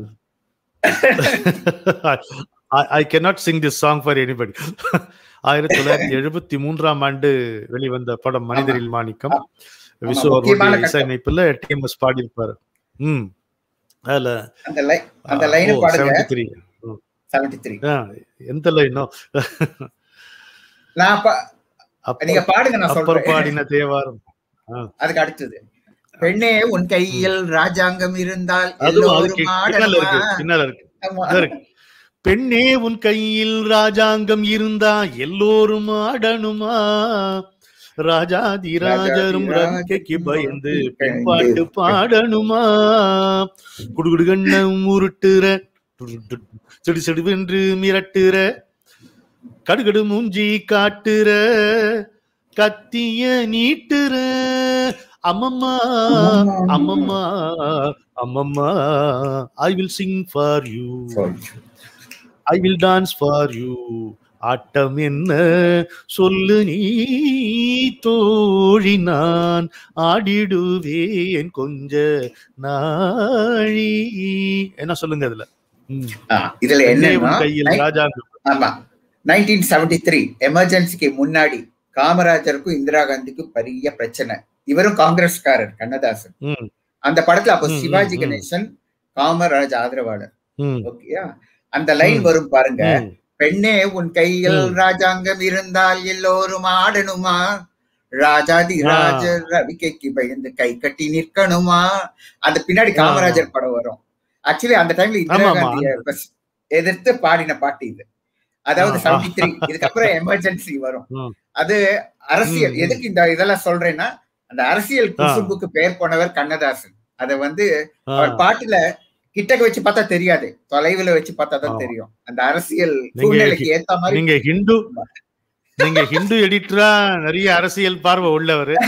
அதே சமயத்துல நாவலாசிரியரா சரித்திர பார்வை வரலாற்று பார்வை உள்ளவர். ரெண்டும். கலந்தது ஒரு ரொம்ப சந்தோஷமான. ஒரு கலவை. ஏன்னா தமிழ்நாட்டுல அரசியலும் சினிமாவும் இல்லாம எதுவும் கிடையாது. அதனால நம்ம வாழ்க்கையே அப்படிதான் நம்ம. ரொம்ப நல்லா இருக்குது. உங்க ஒரு நண்பர் கூட போ- போட்டிருக்காங்க இந்த மாதிரி இந்திரா காந்தி அண்ட் எல். விஜயலட்சுமி செம்ம அப்படின்னு போட்டிருக்காங்க. ஒரு லேடி போட்டிருக்காங்க. அடுத்தது ரொம்ப சந்தோஷம். போலாம் தாராளமா. அடுத்தது சுமைத்தாங்கி சுமைத்தாங்கியில அந்த மயக்கமா கலக்கமா மனதிலே குழப்பமா? அந்த பாட்டு. எத்தனை பேரோட வாழ்க்கைய பாதிச்சது அப்படின்னு. நான் என் வாழ்க்கை தான் அது. ஏன்னா மனிதர்கள் சில பேர் வந்து ஏமாந்து விடுறாங்க. முதல்ல வந்து மனிதர்ல பல வகை இருக்கு. வாழை மரமா தன்னை சாக்ரிஃபைஸ் பண்ணவங்க சில பேர். பசுமாடா தங்களை சாக்ரிஃபைஸ் பண்ண பேர் சில பேர். ஆனா இந்த காலத்துல வந்து என்ன எக்ஸ்ப்ளாய்ட் பண்ணிட்டாங்க. என்ன டிஷ்யூ பேப்பர் மாதிரி யூஸ் பண்ணிட்டு தூக்கி போட்டுட்டாங்க. எப்போ தியாகின்னு ஒரு பட்டம் வருதோ நீங்க டிஷ்யூ பேப்பர் நினைக்க கூடாது. அந்த தத்துவத்தை அழகா உணர்த்துற பசுமாடு தியாகத்துக்கு தான் படைக்கப்பட்டது. வாழை மரம் தியாகத்துக்கு தான் படைக்கப்பட்டது. அதனாலதான் அது மங்களமான பொருட்கள். நீங்க மங்களமா இருக்கணும் நாட்டுக்கு பயன்படணும்னா நீங்க வந்து டிஷ்யூ பேப்பர் நினைக்க கூடாது இல்லையா? அந்த தத்துவத்தை அழகா உணர்த்துறப்ப இந்த டைம்ல தற்கொலை எண்ணங்கள் அதிகமா இருந்தது. நார்வே மட்டும். இல்ல. இப்ப கூட பாருங்களேன் ஒரு சக்சஸ்ஃபுல் நடிகை கூட காரணம் இல்லாம திடீர்னு தற்கொலை பண்ணிக்கிறாங்க. அது வந்து அந்த நெகட்டிவிட்டி அவங்க மனசுல இல்ல. ஆனா அவங்க இருக்கிற இடத்துல நெகட்டிவிட்டி இருந்தா அங்க தற்கொலை எண்ணம் வந்துடும். இந்த பாட்டு ஒரு பாசிட்டிவ் அதாவது நெக அந்த தற்கொலை எண்ணங்களை போக்கின பாட்டு இது. அதனால அந்த காலத்துல வந்து இந்த பாட்டுக்கு இளைஞர்கள் ரொம்ப இந்த ரொம்ப ரசிச்ச பாட்டு இது. அந்த பாட்டை தான் இவர் பாட போறாரு. இது மயக்கமா கலக்கமா. என்னன்னா தற்கொலை எண்ணங்களை தவிர்க்கிறதுக்கு தனிமைய தனிமையில் இருக்கக்கூடாது முதல்ல. ஹீ இந்த படத்துல ஹீரோ வந்து குடும்பத்தால எக்ஸ்ப்ளாய்ட் ஆகப்படுறான். ஆனா அதை வந்து அவன் தெரிஞ்சுக்கிட்டே அதை ஒன்றும் பண்ண முடியல. தன்னை தியாகியாவே நினைச்சுக்கிறான் மெழுகுவத்தியா உருகிறான். ஆனா அந்த தன்னோட இயலாமையை நினைச்சு பாடுற பாட்டு இது. மயக்கமா கலக்கமா மனதிலே குழப்பமா. இந்த பாட்டு அவர் பாட போறாரு. அதுக்கு முன்னாடி ஒரு சி- அவர்- கொஞ்சம் வெளியில போயிருக்காரு. நம்ம தொடர்ந்து பேசுவோம். இந்த படம் ஸ்ரீதர் இயக்கத்துல வந்த படம். இது ராக்கி ரங்கராஜன் அவர்களோட கதை. அது ராக்கி ரங்கராஜன் தொடர்கதையா எழுதிக்கிட்டு இருந்தாரு. அப்போ ஸ்ரீதர் வந்து ஒரு நல்ல கதையை தேடிக்கிட்டு இருந்த போது இத வந்து என் தந்தை சித்ராலயாவுக்கு சஜஸ்ட் பண்ணாரு. இது தொடர்கதையா வந்துட்டு இருக்கு ரொம்ப நல்லா இருக்கு அப்படின்னு சொல்லி அந்த படம் தான் இது.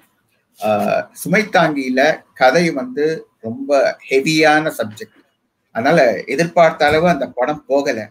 ஆனா பாட்டுகள் எல்லாம் மிக அற்புதமா இருந்தது. இந்த இந்த பாட்டுக்கு மயக்கமா ஆஹ் கலக்கமா.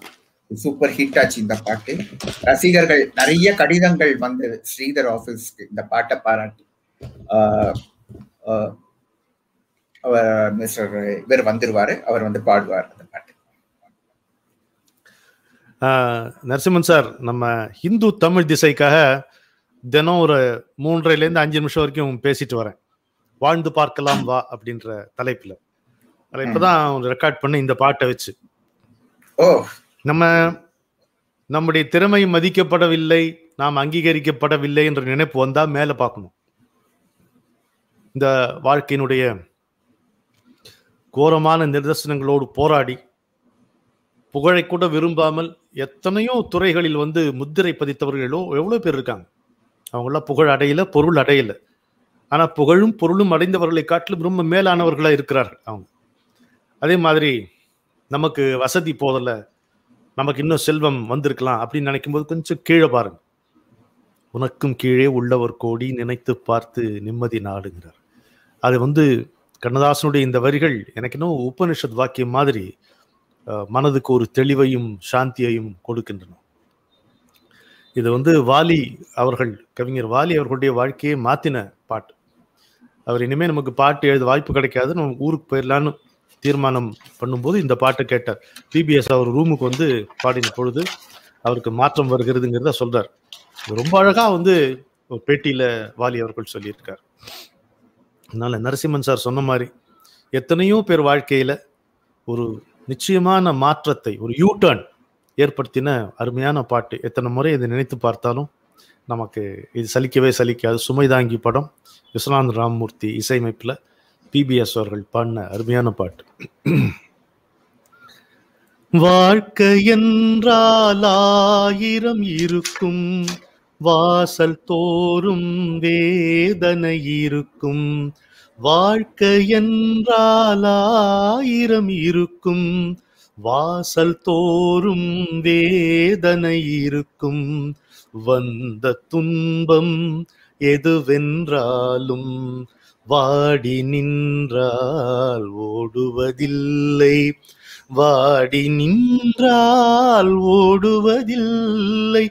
எதையும் தாங்கும் இதயம் இருந்தால் இறுதி வரைக்கும் அமைதி இருக்கும் மயக்கமா? கலக்கமா? மனதிலே குழப்பமா? வாழ்க்கையில் நடுக்கமா? ஏழை மனதை மாளிகையாக்கி இரவும் பகலும் காவியம் பாடு. ஏழை மனதை மாளிகையாக்கி இரவும் பகலும் காவியம் பாடு.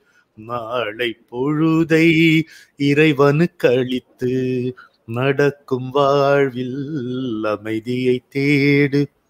நடக்கும் வாழ்வில் அமைதியை தேடு. உனக்கும் கீழே உள்ளவர் கோடி நினைத்து பார்த்து நிம்மதி நாடு. மயக்கமா கலக்கமா மனதிலே குழப்பமா வாழ்க்கையில் நடுக்கமா. என்ன அருமையான ஆல் டைம் ஃபேவரட் ஆமா. இப்ப அடுத்த பாட்டுக்கு போகலாம். ஆண் பலசாலியா பெண் பலசாலியா? ஆண் வந்து ஒரு குறிப்பிட்ட எல்லையை கடக்க பயப்படுவான். ஆனா பெண் அப்படி இல்லை. நினைத்ததை சாதிக்கணும்னா கரைகளை உடைச்சிட்டு போவான். அதனாலதான் ஆண் வந்து பிசிக்கலி ஸ்ட்ராங்கா இருந்தாலும் பெண் மென்டலி ஸ்ட்ராங் அவ இவ சீத்தை கோட்டை தாண்டின ராமாயணமே கிடையாது.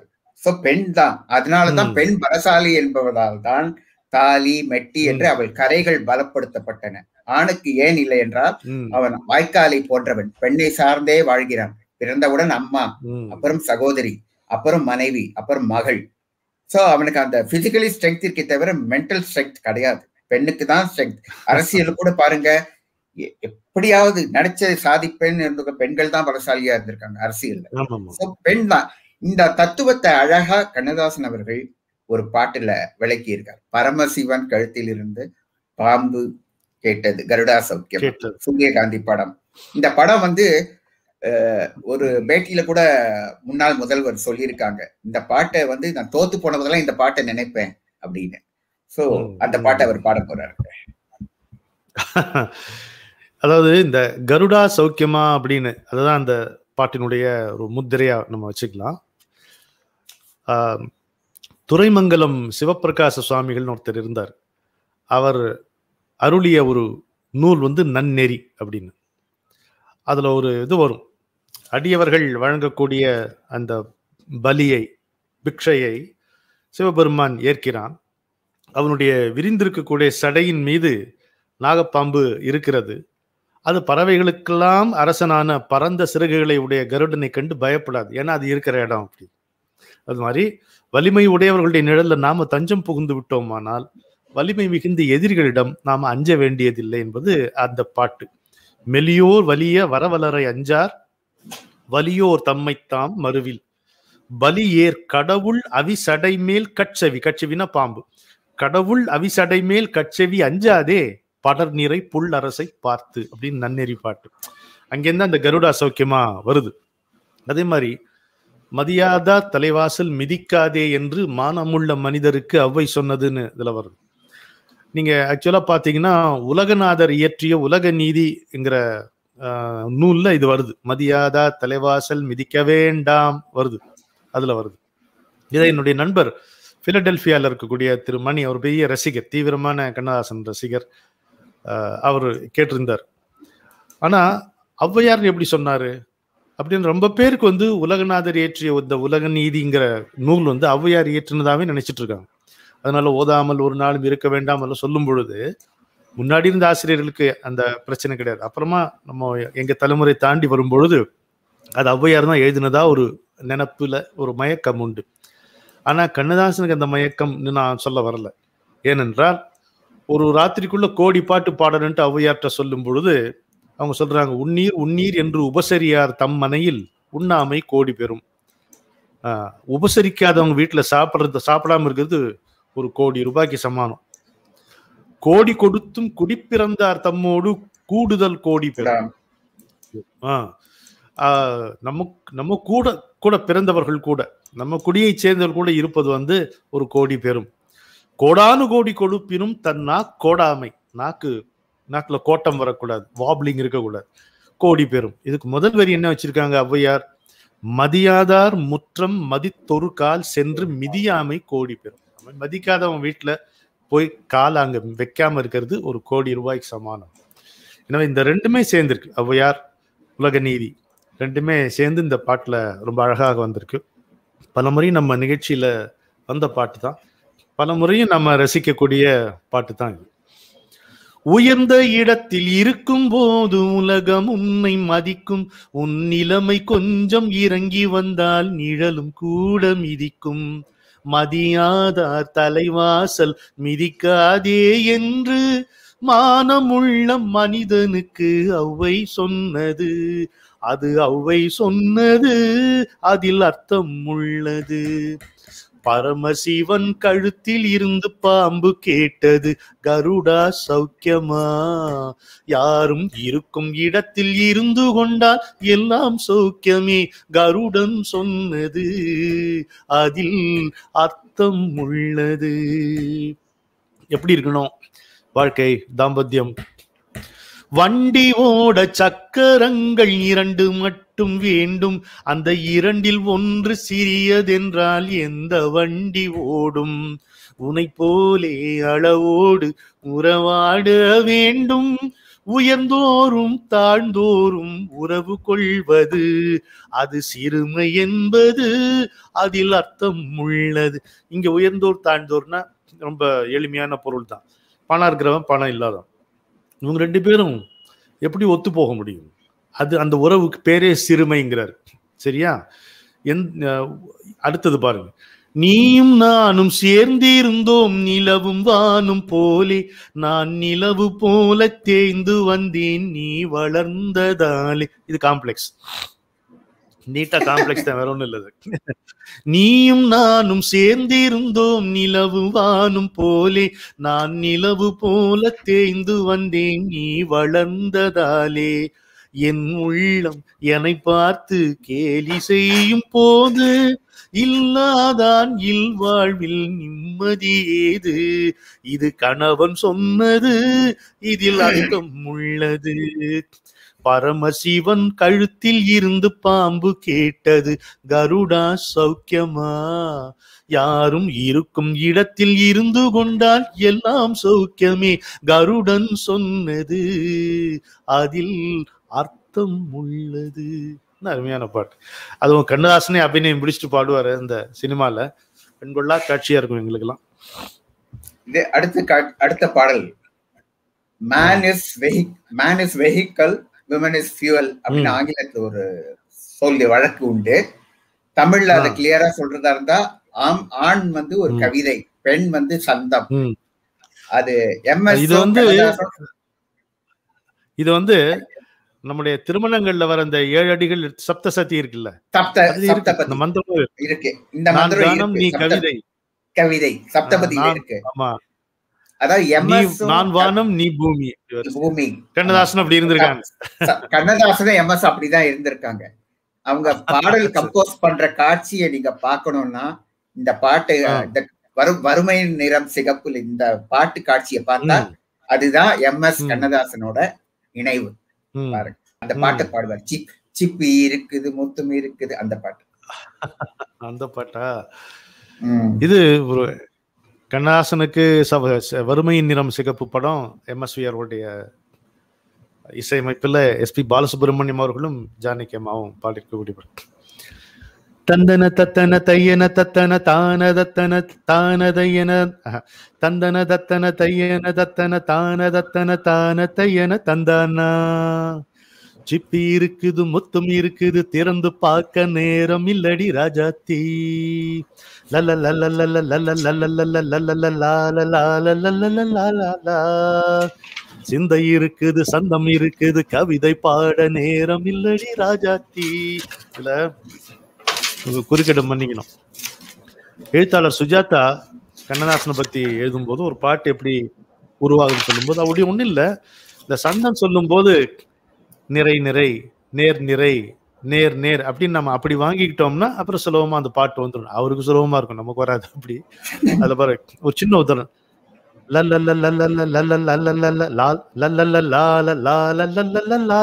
இதான் சந்தம் சிந்தை இருக்குது நிறை நிறை சந்தம் இருக்குது சந்தம் நேர் நேர் லல்ல லல்ல நிறை நிறை அப்படியே இருக்கு பாருங்க கவிதை பாட லல்ல லால கவிதை பாட லால லல்ல நேரம் இல்லடி லா லா லா ராஜாத்தி என்ன பர்ஃபெக்டா இருக்கு சிப்பி இருக்குது முத்தும் இருக்குது திறந்து பார்க்க நேரம் இல்லடி ராஜாத்தி சிந்தை இருக்குது சந்தம் இருக்குது கவிதை பாட நேரம் இல்லடி ராஜாத்தி எப்படி. சந்தங்கள் நான் நானா நீயானா ரிசரி சங்கீதம் ம்ஹும். நானாவேன் சந்தங்கள் நீயானா சங்கீதம் நானாவேன் சிப்பி இருக்குது முத்தும் இருக்குது திறந்து பார்க்க நேரம் இல்லடி ராஜாத்தி. சிந்தை இருக்குது சந்தம் இருக்குது கவிதை பாட நேரம் இல்லடி ராஜாத்தி. அப்புறம் நானா நானா சிரிக்கும் சொர்க்கம். தன நான தர தங்க தங்கத்தட்டு எனக்கு மட்டும் ஓகே தானே தானே தானா அப்படியா தேவை பாவை பார்வை தத்தன தனா நினைக்க வைத்து நான நெஞ்சில் நின்று நெருங்கி வந்து நன தனனா லலலா தாரணா பியூட்டிஃபுல் மயக்கம் தந்தது யார்? தமிழோ அமுதோ கவியோ. சிப்பி இருக்குது முத்தும் இருக்குது திறந்து பார்க்க நேரம் இல்லடி ராஜாத்தி. சிந்தை இருக்குது சந்தம் இருக்குது கவிதை பாட நேரம் இல்லடி ராஜாத்தி. இப்ப பார்க்கலாம். தனன தனன. மழையும் வெயிலும் என்ன தான நான தனன நான. உன்னை கண்டால் மலரும் முள்ளும் என்ன தனன தனன நான அம்மாடியோ தனன நான தனன நான நானா ரதியும் நாடும் அழகில் ஆடும் கண்கள் சபாஷ் கவிதை உலகம் கெஞ்சும். உன்னை கண்டால் கவிஞர் இதயம் கெஞ்சும். கொடுத்த சந்தங்களில் என் மனதை நீ அறிய நான் உரைத்தேன் கொடுத்த சந்தங்களில் என் மனதை நீ அறிய நான் உரைத்தேன். சிப்பி இருக்குது முத்தும் இருக்குது திறந்து பார்க்க நேரம் வந்தது இப்போது.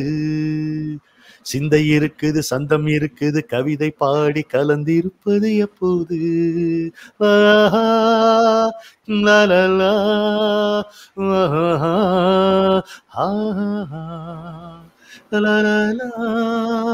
லா,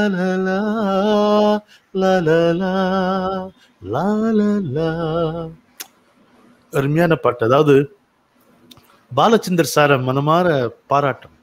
இப்படி ஒரு சுச்சுவேஷன் வச்சார் பாருங்க. ரொம்ப வருஷத்துக்கு முன்னால கொஞ்சம் இது மாதிரி ஒரு பாட்டு இருந்தது. ஆனா இது மாதிரி இல்லை. அதாவது பெண்ணொரு பெண்ணொருத்தி என் எதிரில் வந்தாள்.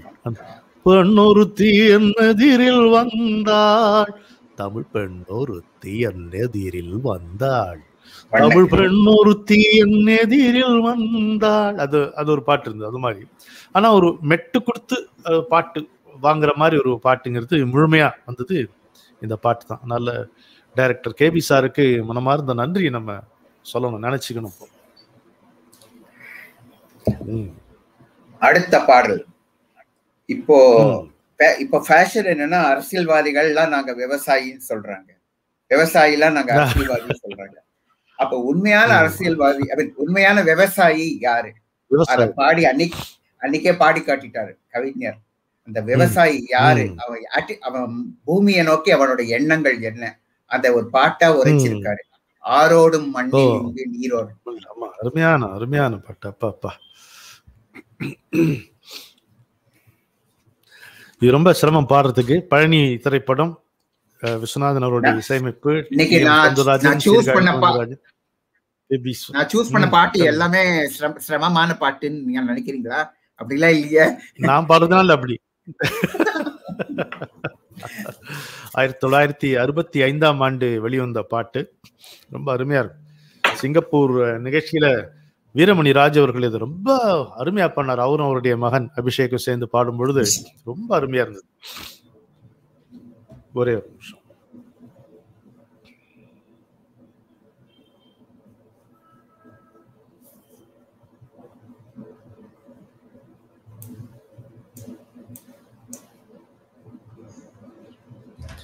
ஆரோடும் மண்ணில் எங்கும் நீரோடும் ஏரோடும் என்றும் நம்ம தேரோடும் போராடும் வேலை இல்லை யாரோடும் பேதம் இல்லை ஊரோடும் சேர்ந்துண்ணனா ஆரோடும் மண்ணில் எங்கும் நீரோடும். ஏரோடும் எங்கும் நம்ம தேரோடும். மண்ணிலே தங்கம் உண்டு மணியும் உண்டு வைரம் உண்டு. கண்ணிலே காணச் செய்யும் கைகள் உண்டு வேர்வை உண்டு. நெஞ்சிலே ஈரம் உண்டு பாசம் உண்டு பசுமை உண்டு. பஞ்சமும் நோயும் இன்றி பாராளும் வலிமை உண்டு. சேராத செல்வம் இன்று சேராதோ. தேனாறு நாட்டில் எங்கும் பாயாதோ? ஆரோடும் மண்ணில் எங்கும் நீரோடும் ஏரோடும் என்றும் நம்ம தேரோடும். பச்சை வண்ண சேலை கட்டி முத்தம் சிந்தும் நெல்லம்மா. பச்சை வண்ண சேலை கட்டி முத்தம் சிந்தும் நெல்லம்மா. பருவம் வந்த பெண்ணை போலே நாணம் என்ன சொல்லம்மா? நாணம் என்ன சொல்லம்மா? அண்ணன் தம்பி நால்வர் உண்டு என்ன வேணும் கேளம்மா?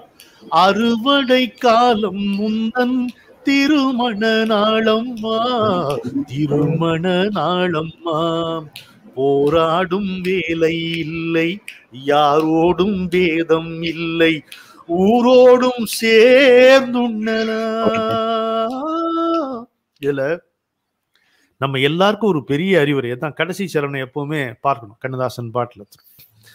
கைகட்டி சேவை செய்து கண்கள் கெட்டு உள்ளம் கெட்டு பொய் சொல்லி பிச்சை பெற்றால் அன்னை பூமி கேலி செய்வாள். என்ன அடி அடிக்கிறார் பாரு.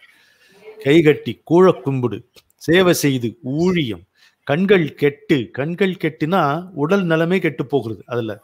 உள்ளம் கெட்டு உள்ளம் கெடுவதென்றால் பார்வையே கெட்டுப்போம் மனப்பான்மையே கெட்டுப்போம் போகும். கை கட்டி சேவை செய்து கண்கள் கெட்டு உள்ளம் கெட்டு பொய் சொல்லி பிச்சை பெற்றால் அன்னை பூமி கேலி செய்வாள். சொல்லி எப்படி முடிக்கிறார் பஞ்சு? தேர் கொண்ட மன்னன் ஏது பேர் சொல்லும் புலவன் ஏது? இந்த உழவன்றவன் இல்லைன்னா விவசாயி இல்லைன்னா மன்னனாவது புலவனாவது கிடையாது. ஆனா இந்த மன்னனை காட்டிலும் புலவனை காட்டிலும் ஒரு உயர்ந்த அந்தஸ்து உள்ளவன் ஒருத்தர் இருக்கான். அவன் யாருன்னா போர் செய்யும் வீரன். எல்லையில் நின்று நம் உயிரை பாதுகாப்பவன். ஆனா ஏர்கொண்ட உழவனின்றி போர் செய்யும் வீரன் ஏதுன்னு கேக்குறாரு. கைகட்டி சேவை செய்து கண்கள் கெட்டு உள்ளம் கெட்டு பொய் சொல்லி பிச்சை பெற்றால் அன்னை பூமி கேலி செய்வாள். தேர் கொண்ட மன்னன் ஏது? பேர் சொல்லும் புலவன் ஏது? தேர் கொண்ட மன்னன் ஏது? பேர் சொல்லும் புலவன் ஏது? ஏர் கொண்ட உழவன் இன்றி போர் செய்யும் வீரன் ஏது? போர் செய்யும் வீரன் ஏது? போராடும் வேலை இல்லை. யாரோடும் பேதம் இல்லை. ஊரோடும் சேர்ந்துண்டனா ஆரோடும் மண்ணில் எங்கும் நீர் ஓடும் ஏரோடும் எங்கும் நம்ம தேரோடும் அருமையான பாட்டு. அதாவது விவசாயி பாடுற மாதிரி இல்ல விவச விவசாயியை பாடுவது மாதிரி வந்தா கண்ணதாசனுக்கு வெள்ளம் அல்வா. போட்டதும் முளைச்சுதடி கண்ணம்மா. கை நிறைய கேட்டது கிடைச்சுதடி சின்னம்மா. அது ஒரு பாட்டு. நவராத்திரி படத்துல வரும். நரசிம்மன் சார் கேட்டிருப்பீங்க. அதுல வரும் மண்ணை நம்பி உழுது வச்சு மழைய நம்பி வித விதைச்சு வயல நம்பி வாழ்ந்திருந்தா கண்ணம்மா. ஒரு பயல நம்ப தேவையில்லே சின்னம்மா. ஒரு பயல நம்ப தேவையில்லே சின்னம்மா. எப்படி இருக்கும்? எப்படி முடிப்பார்? ஆட்டம் போடும் மனிதர்களும் ஆரவாரம் செய்பவரும். கோட்டை கட்டி வாழ்பவரும் கண்ணம்மா. கோட்டை கட்டி வாழ்பவர்க்கும் கண்ணம்மா. நெல்லு மூட்டையில் தான் உயிர் இருக்கு சின்னம்மா. நெல்லு மூட்டையில் தான் உயிர் இருக்கு சின்னம் அப்படி விவசாயம் போட்டு வாழ்த்தி மகிழ்ந்துருவார். அவரே விவசாயியா மாறி கர்வத்தோட பாடுவார். அருமையா ஒரு பாட்டு நீங்க நினைவுபடுத்தினதுக்காக உங்களுக்கு நன்றி. நம்ம அடுத்தது? நிறைவு பாடலுக்கு வரப்போகிறோம். நடுவில் ஸ்ரீ கிருஷ்ணா ஸ்வீட்ஸ் உரிமையாளர் இந்த நிகழ்ச்சியை விடாமல் உற்சாகத்துடன் அன்புடன் ஆதரித்து கொண்டு நடத்தி கொண்டு வருகிற திரு முரளி அவர்கள் இருக்காரு. அவரையும் இந்த நிகழ்ச்சியில் நம்ம இணைத்துப்போம். இணைச்சபடியே அடுத்த நம்ம நிறைவு பாட்டுக்கு போவோம். இப்போ நீங்க பாடின பாட்டு எல்லாமே நாட்டு பாடல் அந்த வகையில நான் தேனி குஞ்சரம்மான்னு ஒரு பாடகி இருந்தாங்க.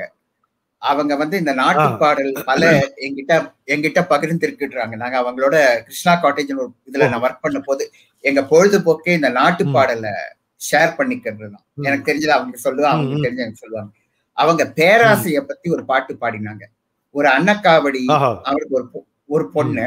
அந்த பொண்ணு வந்து எனக்கு. தங்கம் கொடுக்கறவனா தான் நான் கல்யாணம் பண்ணிப்பேன் அப்படின்னு சொல்லும். உடனே இன்னொரு அன்னக்காவடி ஒரு கரண்டி ஒரு கரண்டி தங்கத்தை உருக்கி பொண்ணு வந்து கொடுத்து என்ன கல்யாணம். பண்ணிக்கோன்னு உடனே அதோட ஆத்தாக்காரி ஆ. பாடுவா. ஒரு கரண்டி. பொண்ணுக்கோ உன்ன வந்து பொண்ணு கேட்டான் சின்னண்ணன் காலுக்கு. சிலபடிக்க பத்தாது.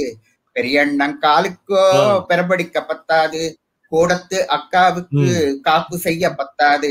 மாடத்து அக்காவுக்கு மணி செய்ய பத்தாது. குப்பையிலே கிளறி வரும் கோழிக்கும் பத்தாது. மந்தையில மேய்ந்து வரும் மாட்டுக்கும் பத்தாது.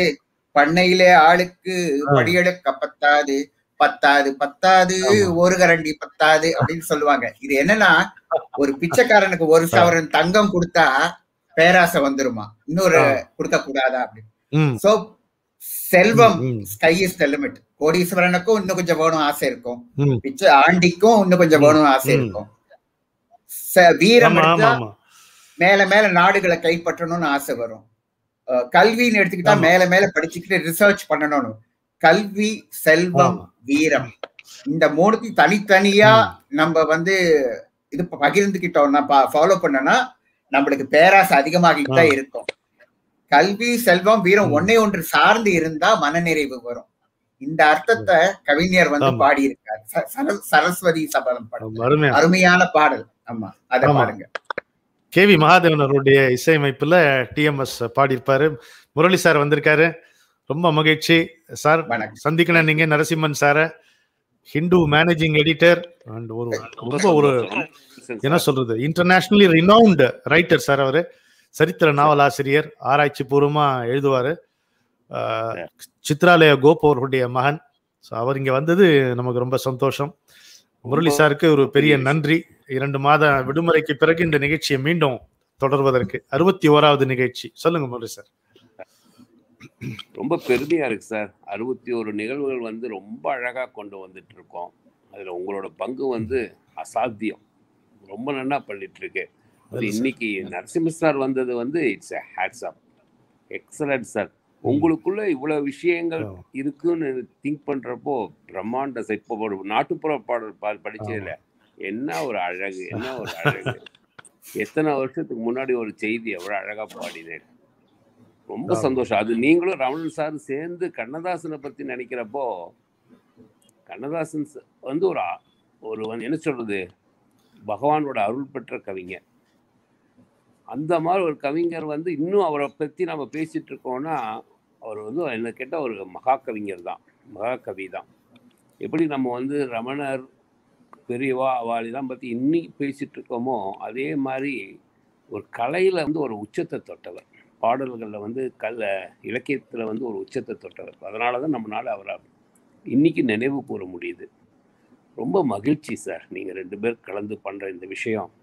அது எத்தனை ப எல்லா பழைய பாடல்களில் அதுவும் க நீங்க இன்னைக்கு எடுத்துக்கிட்ட பாடல் வந்து இது வரைக்கும் இல்லாத பாடல்களா பார்த்து அவருக்கு ரொம்ப சிரமப்பட்டு ஏன்னா அறுபத்தோரு நிகழ்ச்சியில் ஆல்மோஸ்ட் எல்லா இம்பார்ட்டன்ட் பாட்டும் வந்தாச்சு. இன்னைக்கு நீங்க சூஸ் பண்ண பாட்டு எதுவுமே இதுவரை வராத பாடல்களா பார்த்து சூஸ் பண்ணி அதுவும் அது- அதுவும் எவ்வளவு அற்புதம் அதுலயும். ஹேட்ஸ் ஆஃப் சார் ரொம்ப மகிழ்ச்சியா இருக்கு உங்களை பார்க்கிறது. ரொம்ப சந்தோஷம் சார் ரமணன் சார் ரெண்டு மாசம் போனாலும் சார் உங்க ஹெல்த். ஹெல்த் நல்லா வந்திருக்கு ரொம்ப சந்தோஷம் இன்னும் இன்னும் ஆரோக்கியமா. நீங்க இருக்கணும்னு மகாபிரிவா பிரார்த்தனை பண்ணிக்கிறேன் இந்த நிகழ்வுகள் நம்ம சொன்ன மாதிரி. நூறு நிச்சயம் நூறு நிச்சயமா தொடும் ரொம்ப குயிக் ரொம்ப குயிக்கா. தொடும் ரொம்ப ரெண்டாவது இப்ப இப்ப. இருக்கிற இந்த கரோ இந்த கரோனா கண்டிப்பா காணாம போகணும் அதுக்கு உங்களுடைய. பிரார்த்தனைகளும் எல்லாத்தோட பிரார்த்தனைகளும் கண்டிப்பா தேவை இதனால நிறைய பேருக்கு என்ன சொல்றது லைஃப் ஸ்டைல் கம்ப்ளீட்டா மாறி போச்சு இப்போ வந்து லைஃப் ஸ்டைலோட லைஃப் முக்கியம்னு ஆயாச்சு. So we must take. Care of first life then life. ஸ்டைலுங்கிற மாதிரி. ஆயிடுச்சு. ஸோ உங்களுடைய ப்ரேயர் வந்து ரொம்ப பவர்ஃபுல்லாக இருக்கும். நிறைய ப்ரே பண்ணுங்க. எல்லாத்துக்கும் ப்ரே பண்ணுங்க. Thank you sir thank you very much ரொம்ப Thank you. சந்தோஷம் thank you sir Thank you. Thank you thank you thank you sir எவ்வளோ வேலைக்கு நடுவில் இங்கே வந்து நம்ம ஒரு வாழ்த்து சொல்லி நம்ம எல்லாம் ஊக்குவித்த இந்த நூறு நிகழ்ச்சி வரைக்கும் போகணும்னு உறுதி கொடுத்துருக்கிற முரள் சார் அவர்களை நம்ம மனமாற பாராட்டுவோம். அவருக்காகவும் நம்ம பிரார்த்தனை செய்வோம். கற்றோர்க்கு பொருளின்றி பசி தீருமா? பொருள் பெற்றோர்க்கு அறிவின்றி புகழ் சேருமா? கற்றாலும் பெற்றாலும் பலமாகுமா? வீரம் காணாத வாழ்வென்றும் வாழ்வாகுமா? அப்படின்னு கேட்கிறார் கண்ணதாசன். சரஸ்வதி சபதம் இந்த பாட்டில். அதில் ரொம்ப பிடிச்சது என்னன்னா நம்ம கிராமத்துல பேசும்போது ஏழை சொல்ல அம்பலம் ஏறுமாங்க? அப்படின்னு சொல்லுவோம். இல்ல ஏழை சொல்ல அம்பலம் ஏறுமான் அதுல இருந்து பிடிக்கிறார் பாருங்க. படித்தவன் கருத்தில் நாம் சபை ஏறுமா?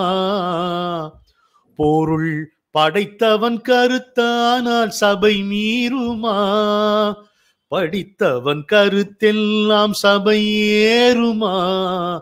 பொருள் படைத்தவன் கருத்தானால் சபை மீறுமா படித்தவன் படைத்தவன் யாராயினும். படித்தவன் படைத்தவன் யாராயினும். பலம் படைத்திருந்தால் அவனுக்கு இணையாகுமா பலம் படைத்திருந்தால் அவனுக்கு இணையாகுமா கல்வியா செல்வமா வீரமா? அன்னையா தந்தையா தெய்வமா? ஒன்றில்லாமல் மற்றொன்று உருவாகுமா? இதில் உயர்வென்றும் தாழ்வென்றும் பிரிவாகுமா? கல்வியா செல்வமா வீரமா? இந்த பாட்டு எழுதி மெட்டு போட்ட பாட்டு. கண்ணதாசன் முதல்ல எழுதி கே வி மகாதேவன் மெட்டு போடுறார்.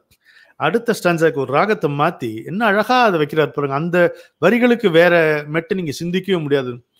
ஒன்றுக்குள் ஒன்றாக கருவானது அது ஒன்றினில் ஒன்றாக பொருளானது ஒன்றுக்குள் ஒன்றாக கருவானது அதில் ஒன்றினில் ஒன்றாக பொருளானது.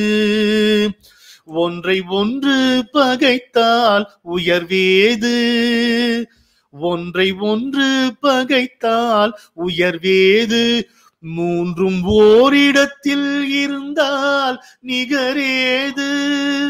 மூன்றும் ஓரிடத்தில் இருந்தால் நிகரேது. கல்வியா செல்வமா வீரமா. எப்படி முடிக்கணும். கண்ணாசனுடைய நிறைவு சரணம். மூன்று தலைமுறைக்கும் நிதி வேண்டுமா? காலம் முற்றும் புகழ் வளர்க்கும் மதி வேண்டுமா? மூன்று தலைமுறைக்கும் நிதி வேண்டுமா? காலம் முற்றும் புகழ் வளர்க்கும் மதி வேண்டுமா? தோன்றும் பகை நடுங்கும் பலம் வேண்டுமா? தோன்றும் பகை நடுங்கும் பலம் வேண்டுமா? இவை மூன்றும் துணை இருக்கும் நலம் வேண்டுமா? இவை மூன்றும் துணை இருக்கும் நலம் வேண்டுமா? கல்வியா செல்வமா வீரமா? அருமையான பாட்டு. நரசிம்மன் சார் எங்க அப்பாவுக்கு ரொம்ப பிடிச்ச பாட்டு இது. அதனால அவருடைய நினைவும் எனக்கு நீங்க கொடுத்துருக்கீங்க இன்னைக்கு. அப்பாவுக்கு ரொம்ப பிடிச்ச பாட்டு. அவர் சுட்டி காட்டுறது என்னன்னா ஒரு கேள்வியை கேட்டுட்டு அடுத்த வரியிலே பதிலும் சொல்லியிருக்கிறாரு. ஆனா அது கேள்விக்குறியா போட்டு பதில சொல்லிட்டார். அதனால நம்ம கவனிக்கல. அதை விளக்குறதுக்கு தான் பின்னால வந்த வரிகள்ங்கிறார். கல்வியா செல்வமா வீரமான்ற கேள்விக்கு அன்னையா தந்தையா தெய்வமாங்கிறது தான் விடை. அதான் பதில். நீங்க சூஸ் பண்ண முடியுமா? அன்னை தான் தந்தை தான் தெய்வம் தான் அப்ப கல்விதான் செல்வம் தான் வீரந்தான்னு சொல்ல முடியுமா? ஒன்று இல்லாமல் மற்றொன்று உருவாகுமா? இதில் உயர்வென்றும் தாழ்வென்றும் பிரிவாகுமா? சொல்லி அப்புறம் நமக்கு விளக்கங்கள் கொடுத்துருக்காருன்னு சுட்டி காட்டுவாங்க பெரியவங்க. அருமையான ஒரு நிகழ்ச்சியை நமக்கு வகுத்து தந்த ந- நரசிம்மன் சாருக்கு. நீங்க எல்லாரும் சேர்ந்து என்னோட இணைந்து ஒரு பலமான கரவொலியை நம்ம தரணும். அது மட்டும் இல்லை எங்க எங்க அபிமானத்துக்கு என்றைக்கும் உரிய அவ அப்பா அவருடைய தந்தையார் சித்ராலயா கோபு அவர்களுக்கு எங்களுடைய வணக்கங்களை நீங்க தெரிவிக்கணும். அவர் கலந்து கொண்டு கலக்கின கலாய்த்த ரெண்டு நிகழ்ச்சிகள் இன்றைக்கும் நினைவிருக்கு. அது யூடியூப்ல இருக்கிறதுனால எனக்கு ரொம்ப மகிழ்ச்சி. என்றென்றைக்கும் அது ஒரு பதிவா இருக்கும் வரவங்களுக்கு ஒரு எண்பத்தெட்டு வயது இன்னைக்கு தொண்ணூறு ஆயிடுச்சு. எண்பத்தெட்டு வயது அவர் தாண்டி இருந்த பொழுது அவர்கிட்ட இருந்த அவர் காட்டின அலர்ட்னஸ் உற்சாகம் அந்த இங்கீதம் அந்த நகைச்சுவை உணர்வு இதெல்லாம் அந்த தலைமுறையோடு போச்சோ அப்படின்னு நம்ம கொஞ்சம் நெகிழ்ந்து யோசிக்க வேண்டியதா இருக்கு. அவர் பெற்ற திருமகன் அது ஒரு சிறப்பு மட்டுமல்ல ஒரு சவாலும் கூட. It's a privilege and a challenge ஆனால் நான் மனமாற சொல்லுகிறேன். சித்ராலயா கோபு அவருடைய புகழ் தேவைப்படாமலே தன்னுடைய தன்னுடைய திறமையின் மூலம் ஆற்றல் மூலம் புகழ் பெற்றுக்கொண்டே வருபவர் நம்முடைய நரசிம்மன் சார் என்பதை நான் ஒரு நண்பன்ற முறையில் ரொம்ப பெருமையோடு மகிழ்ச்சியோடு இங்கே பதிவு செய்து கொள்ள விரும்புகிறேன். அத சொல்லுங்க சார். நீங்க சொல்லுங்க. நீங்க என்ன சொல்ல விரும்புறீங்களோ சொல்லுங்க. நான் வந்து இப்போ உணர்ச்சி பிழம்பா இருக்கேன். காரணம் அப்பா கண்ணதாசன் அவரோட நெருங்கி பழகினவர். கம்போசிங்ல எல்லாம் உட்கார்ந்து இருக்காரு அப்போ வந்து நான் ஆங்கிலம் பின்னாடி ஓடிக்கிட்டு இருந்தேன். தமிழ் பால் அவ்வளவு ஆர்வம் கிடையாது. அவரை சந்திக்காம அவரை சந்திக்காம போயிட்டோமேன்னு ஒரு வருத்தம். இன்னைக்கும் அந்த ஏக்கம் இருக்கு. அந்த முப்பது ஐம்பது வருஷ ஏக்கத்தை இந்த நிகழ்ச்சி என்ன நிறைவுபடுத்தி அந்த ஏக்கத்தை போக்கிடுது இன்னைக்கு கண்ணதாசனை பத்தி நம்ம ரெண்டு பேரும் உட்கார்ந்து பேசினது அந்த ஏக்கம் எனக்கு தீர்ந்து போச்சு. அப்படிதான் நான் சொல்லணும். இதை விட நான் இதை விட சிறந்த வாய்ப்பு நான் உடனே உடனே உங்களை இடைமறிச்சு ஒண்ணு சொல்லணும். நரசிம்மன் சார் இது தொடக்கம் தான் நாம ரெண்டு பேரும் இணைந்து பங்கு கொண்டு செய்யக்கூடிய பல நற்பணிகள் நமக்கு காத்திருக்கின்றன. பராசக்தி அதற்கான தருணங்களையும் மேடைகளையும் அமைத்து தருவாள் நிச்சயம் நிச்சயம். அடுத்த நிகழ்ச்சி காலங்களில் அவன் வசந்தம் அறுபத்தி ரெண்டாவது நிகழ்ச்சி இந்த மாதம் இருபத்தி ரெண்டாம் தேதி. அடுத்த சனிக்கிழமைக்கு அடுத்த சனிக்கிழமை. சிறப்பு விருந்தினர் உங்களுக்கு பலருக்கும் தெரிந்திருக்கும் சுஜாதா பாலகுமாரன் இவர்களுடைய உற்ற நண்பர் அருமையான எழுத்தாளர் அதைவிட அருமையான ரசிகர் திரு ஜெயராம் ரகுநாதன் அவர்கள் நம்மோடு கலந்து கொள்ள இருக்கிறார்கள். இந்த வேளையில நரசிம்மையாவோடு சேர்ந்து நானும் உங்களுக்கு ஒரு கோரிக்கையை வைக்கிறேன். உங்களுக்கு தெரியாதது இல்லை தெரிஞ்சது தான் ஆனால் ஒருத்தருக்கு ஒருத்தர் நம்ம நினைவுபடுத்திக் கொள்வது நல்லது. தயவு செய்து அச்சப்படாதீர்கள். ஆனால் அசிரத்தையா இருக்கார்கள் இருக்காதீர்கள். அசட்டையா இருக்காதீர்கள். அக்கறையோடு இருங்கள். அந்த முகக்கவசம் சரி கையை சுத்தப்படுத்திக் கொள்வது சமூக இடைவெளி அனாவசியமாக வெளியில் போகாமல் இருப்பது இதெல்லாம் கவனமாக கையாளுங்கள். அது மட்டுமல்ல தடுப்பூசி ஒன்று தான் இப்போது நமக்கு இருக்கக்கூடிய பேராயுதமாக இருக்கிறது. அனாவசியம் அதை பற்றின விமர்சனங்களுக்கெல்லாம் போகவே போகாதீர்கள்.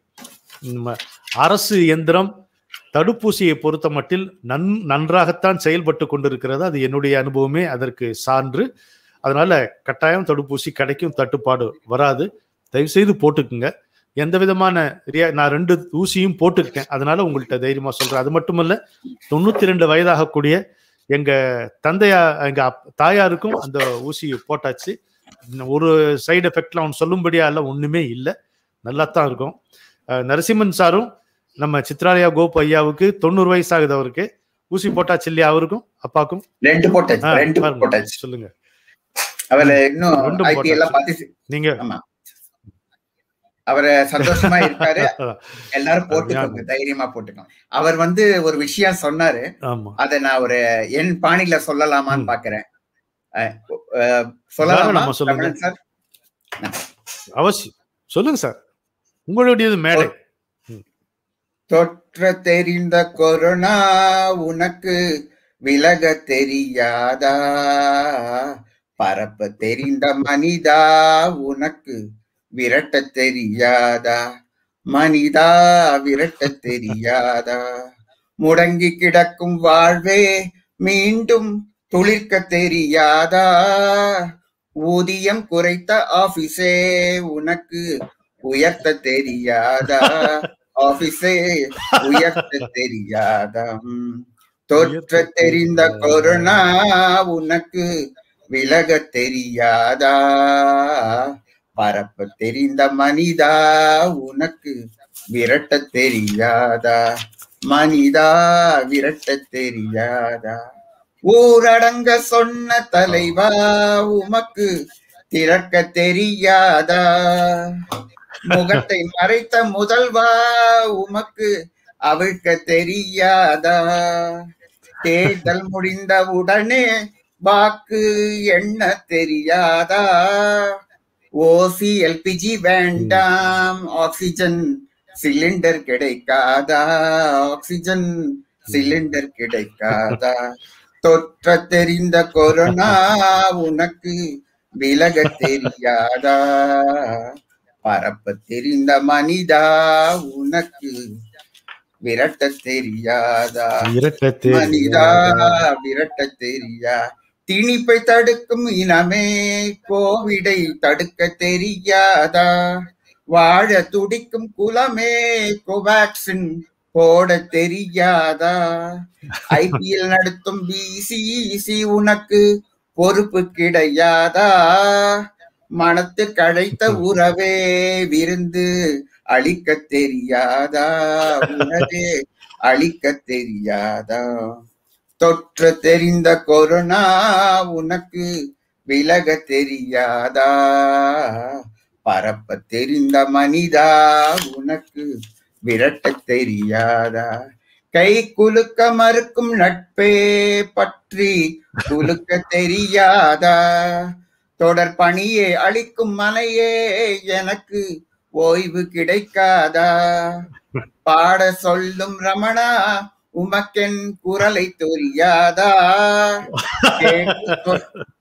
கேட்டு தொலைக்கும் ரசிகா காதை ஒத்திக்க தெரியாதா? காதை ஒத்திக்க தெரியாதா? நினைக்க தெரிந்த மனமே உனக்கு மறக்க தெரியாதா?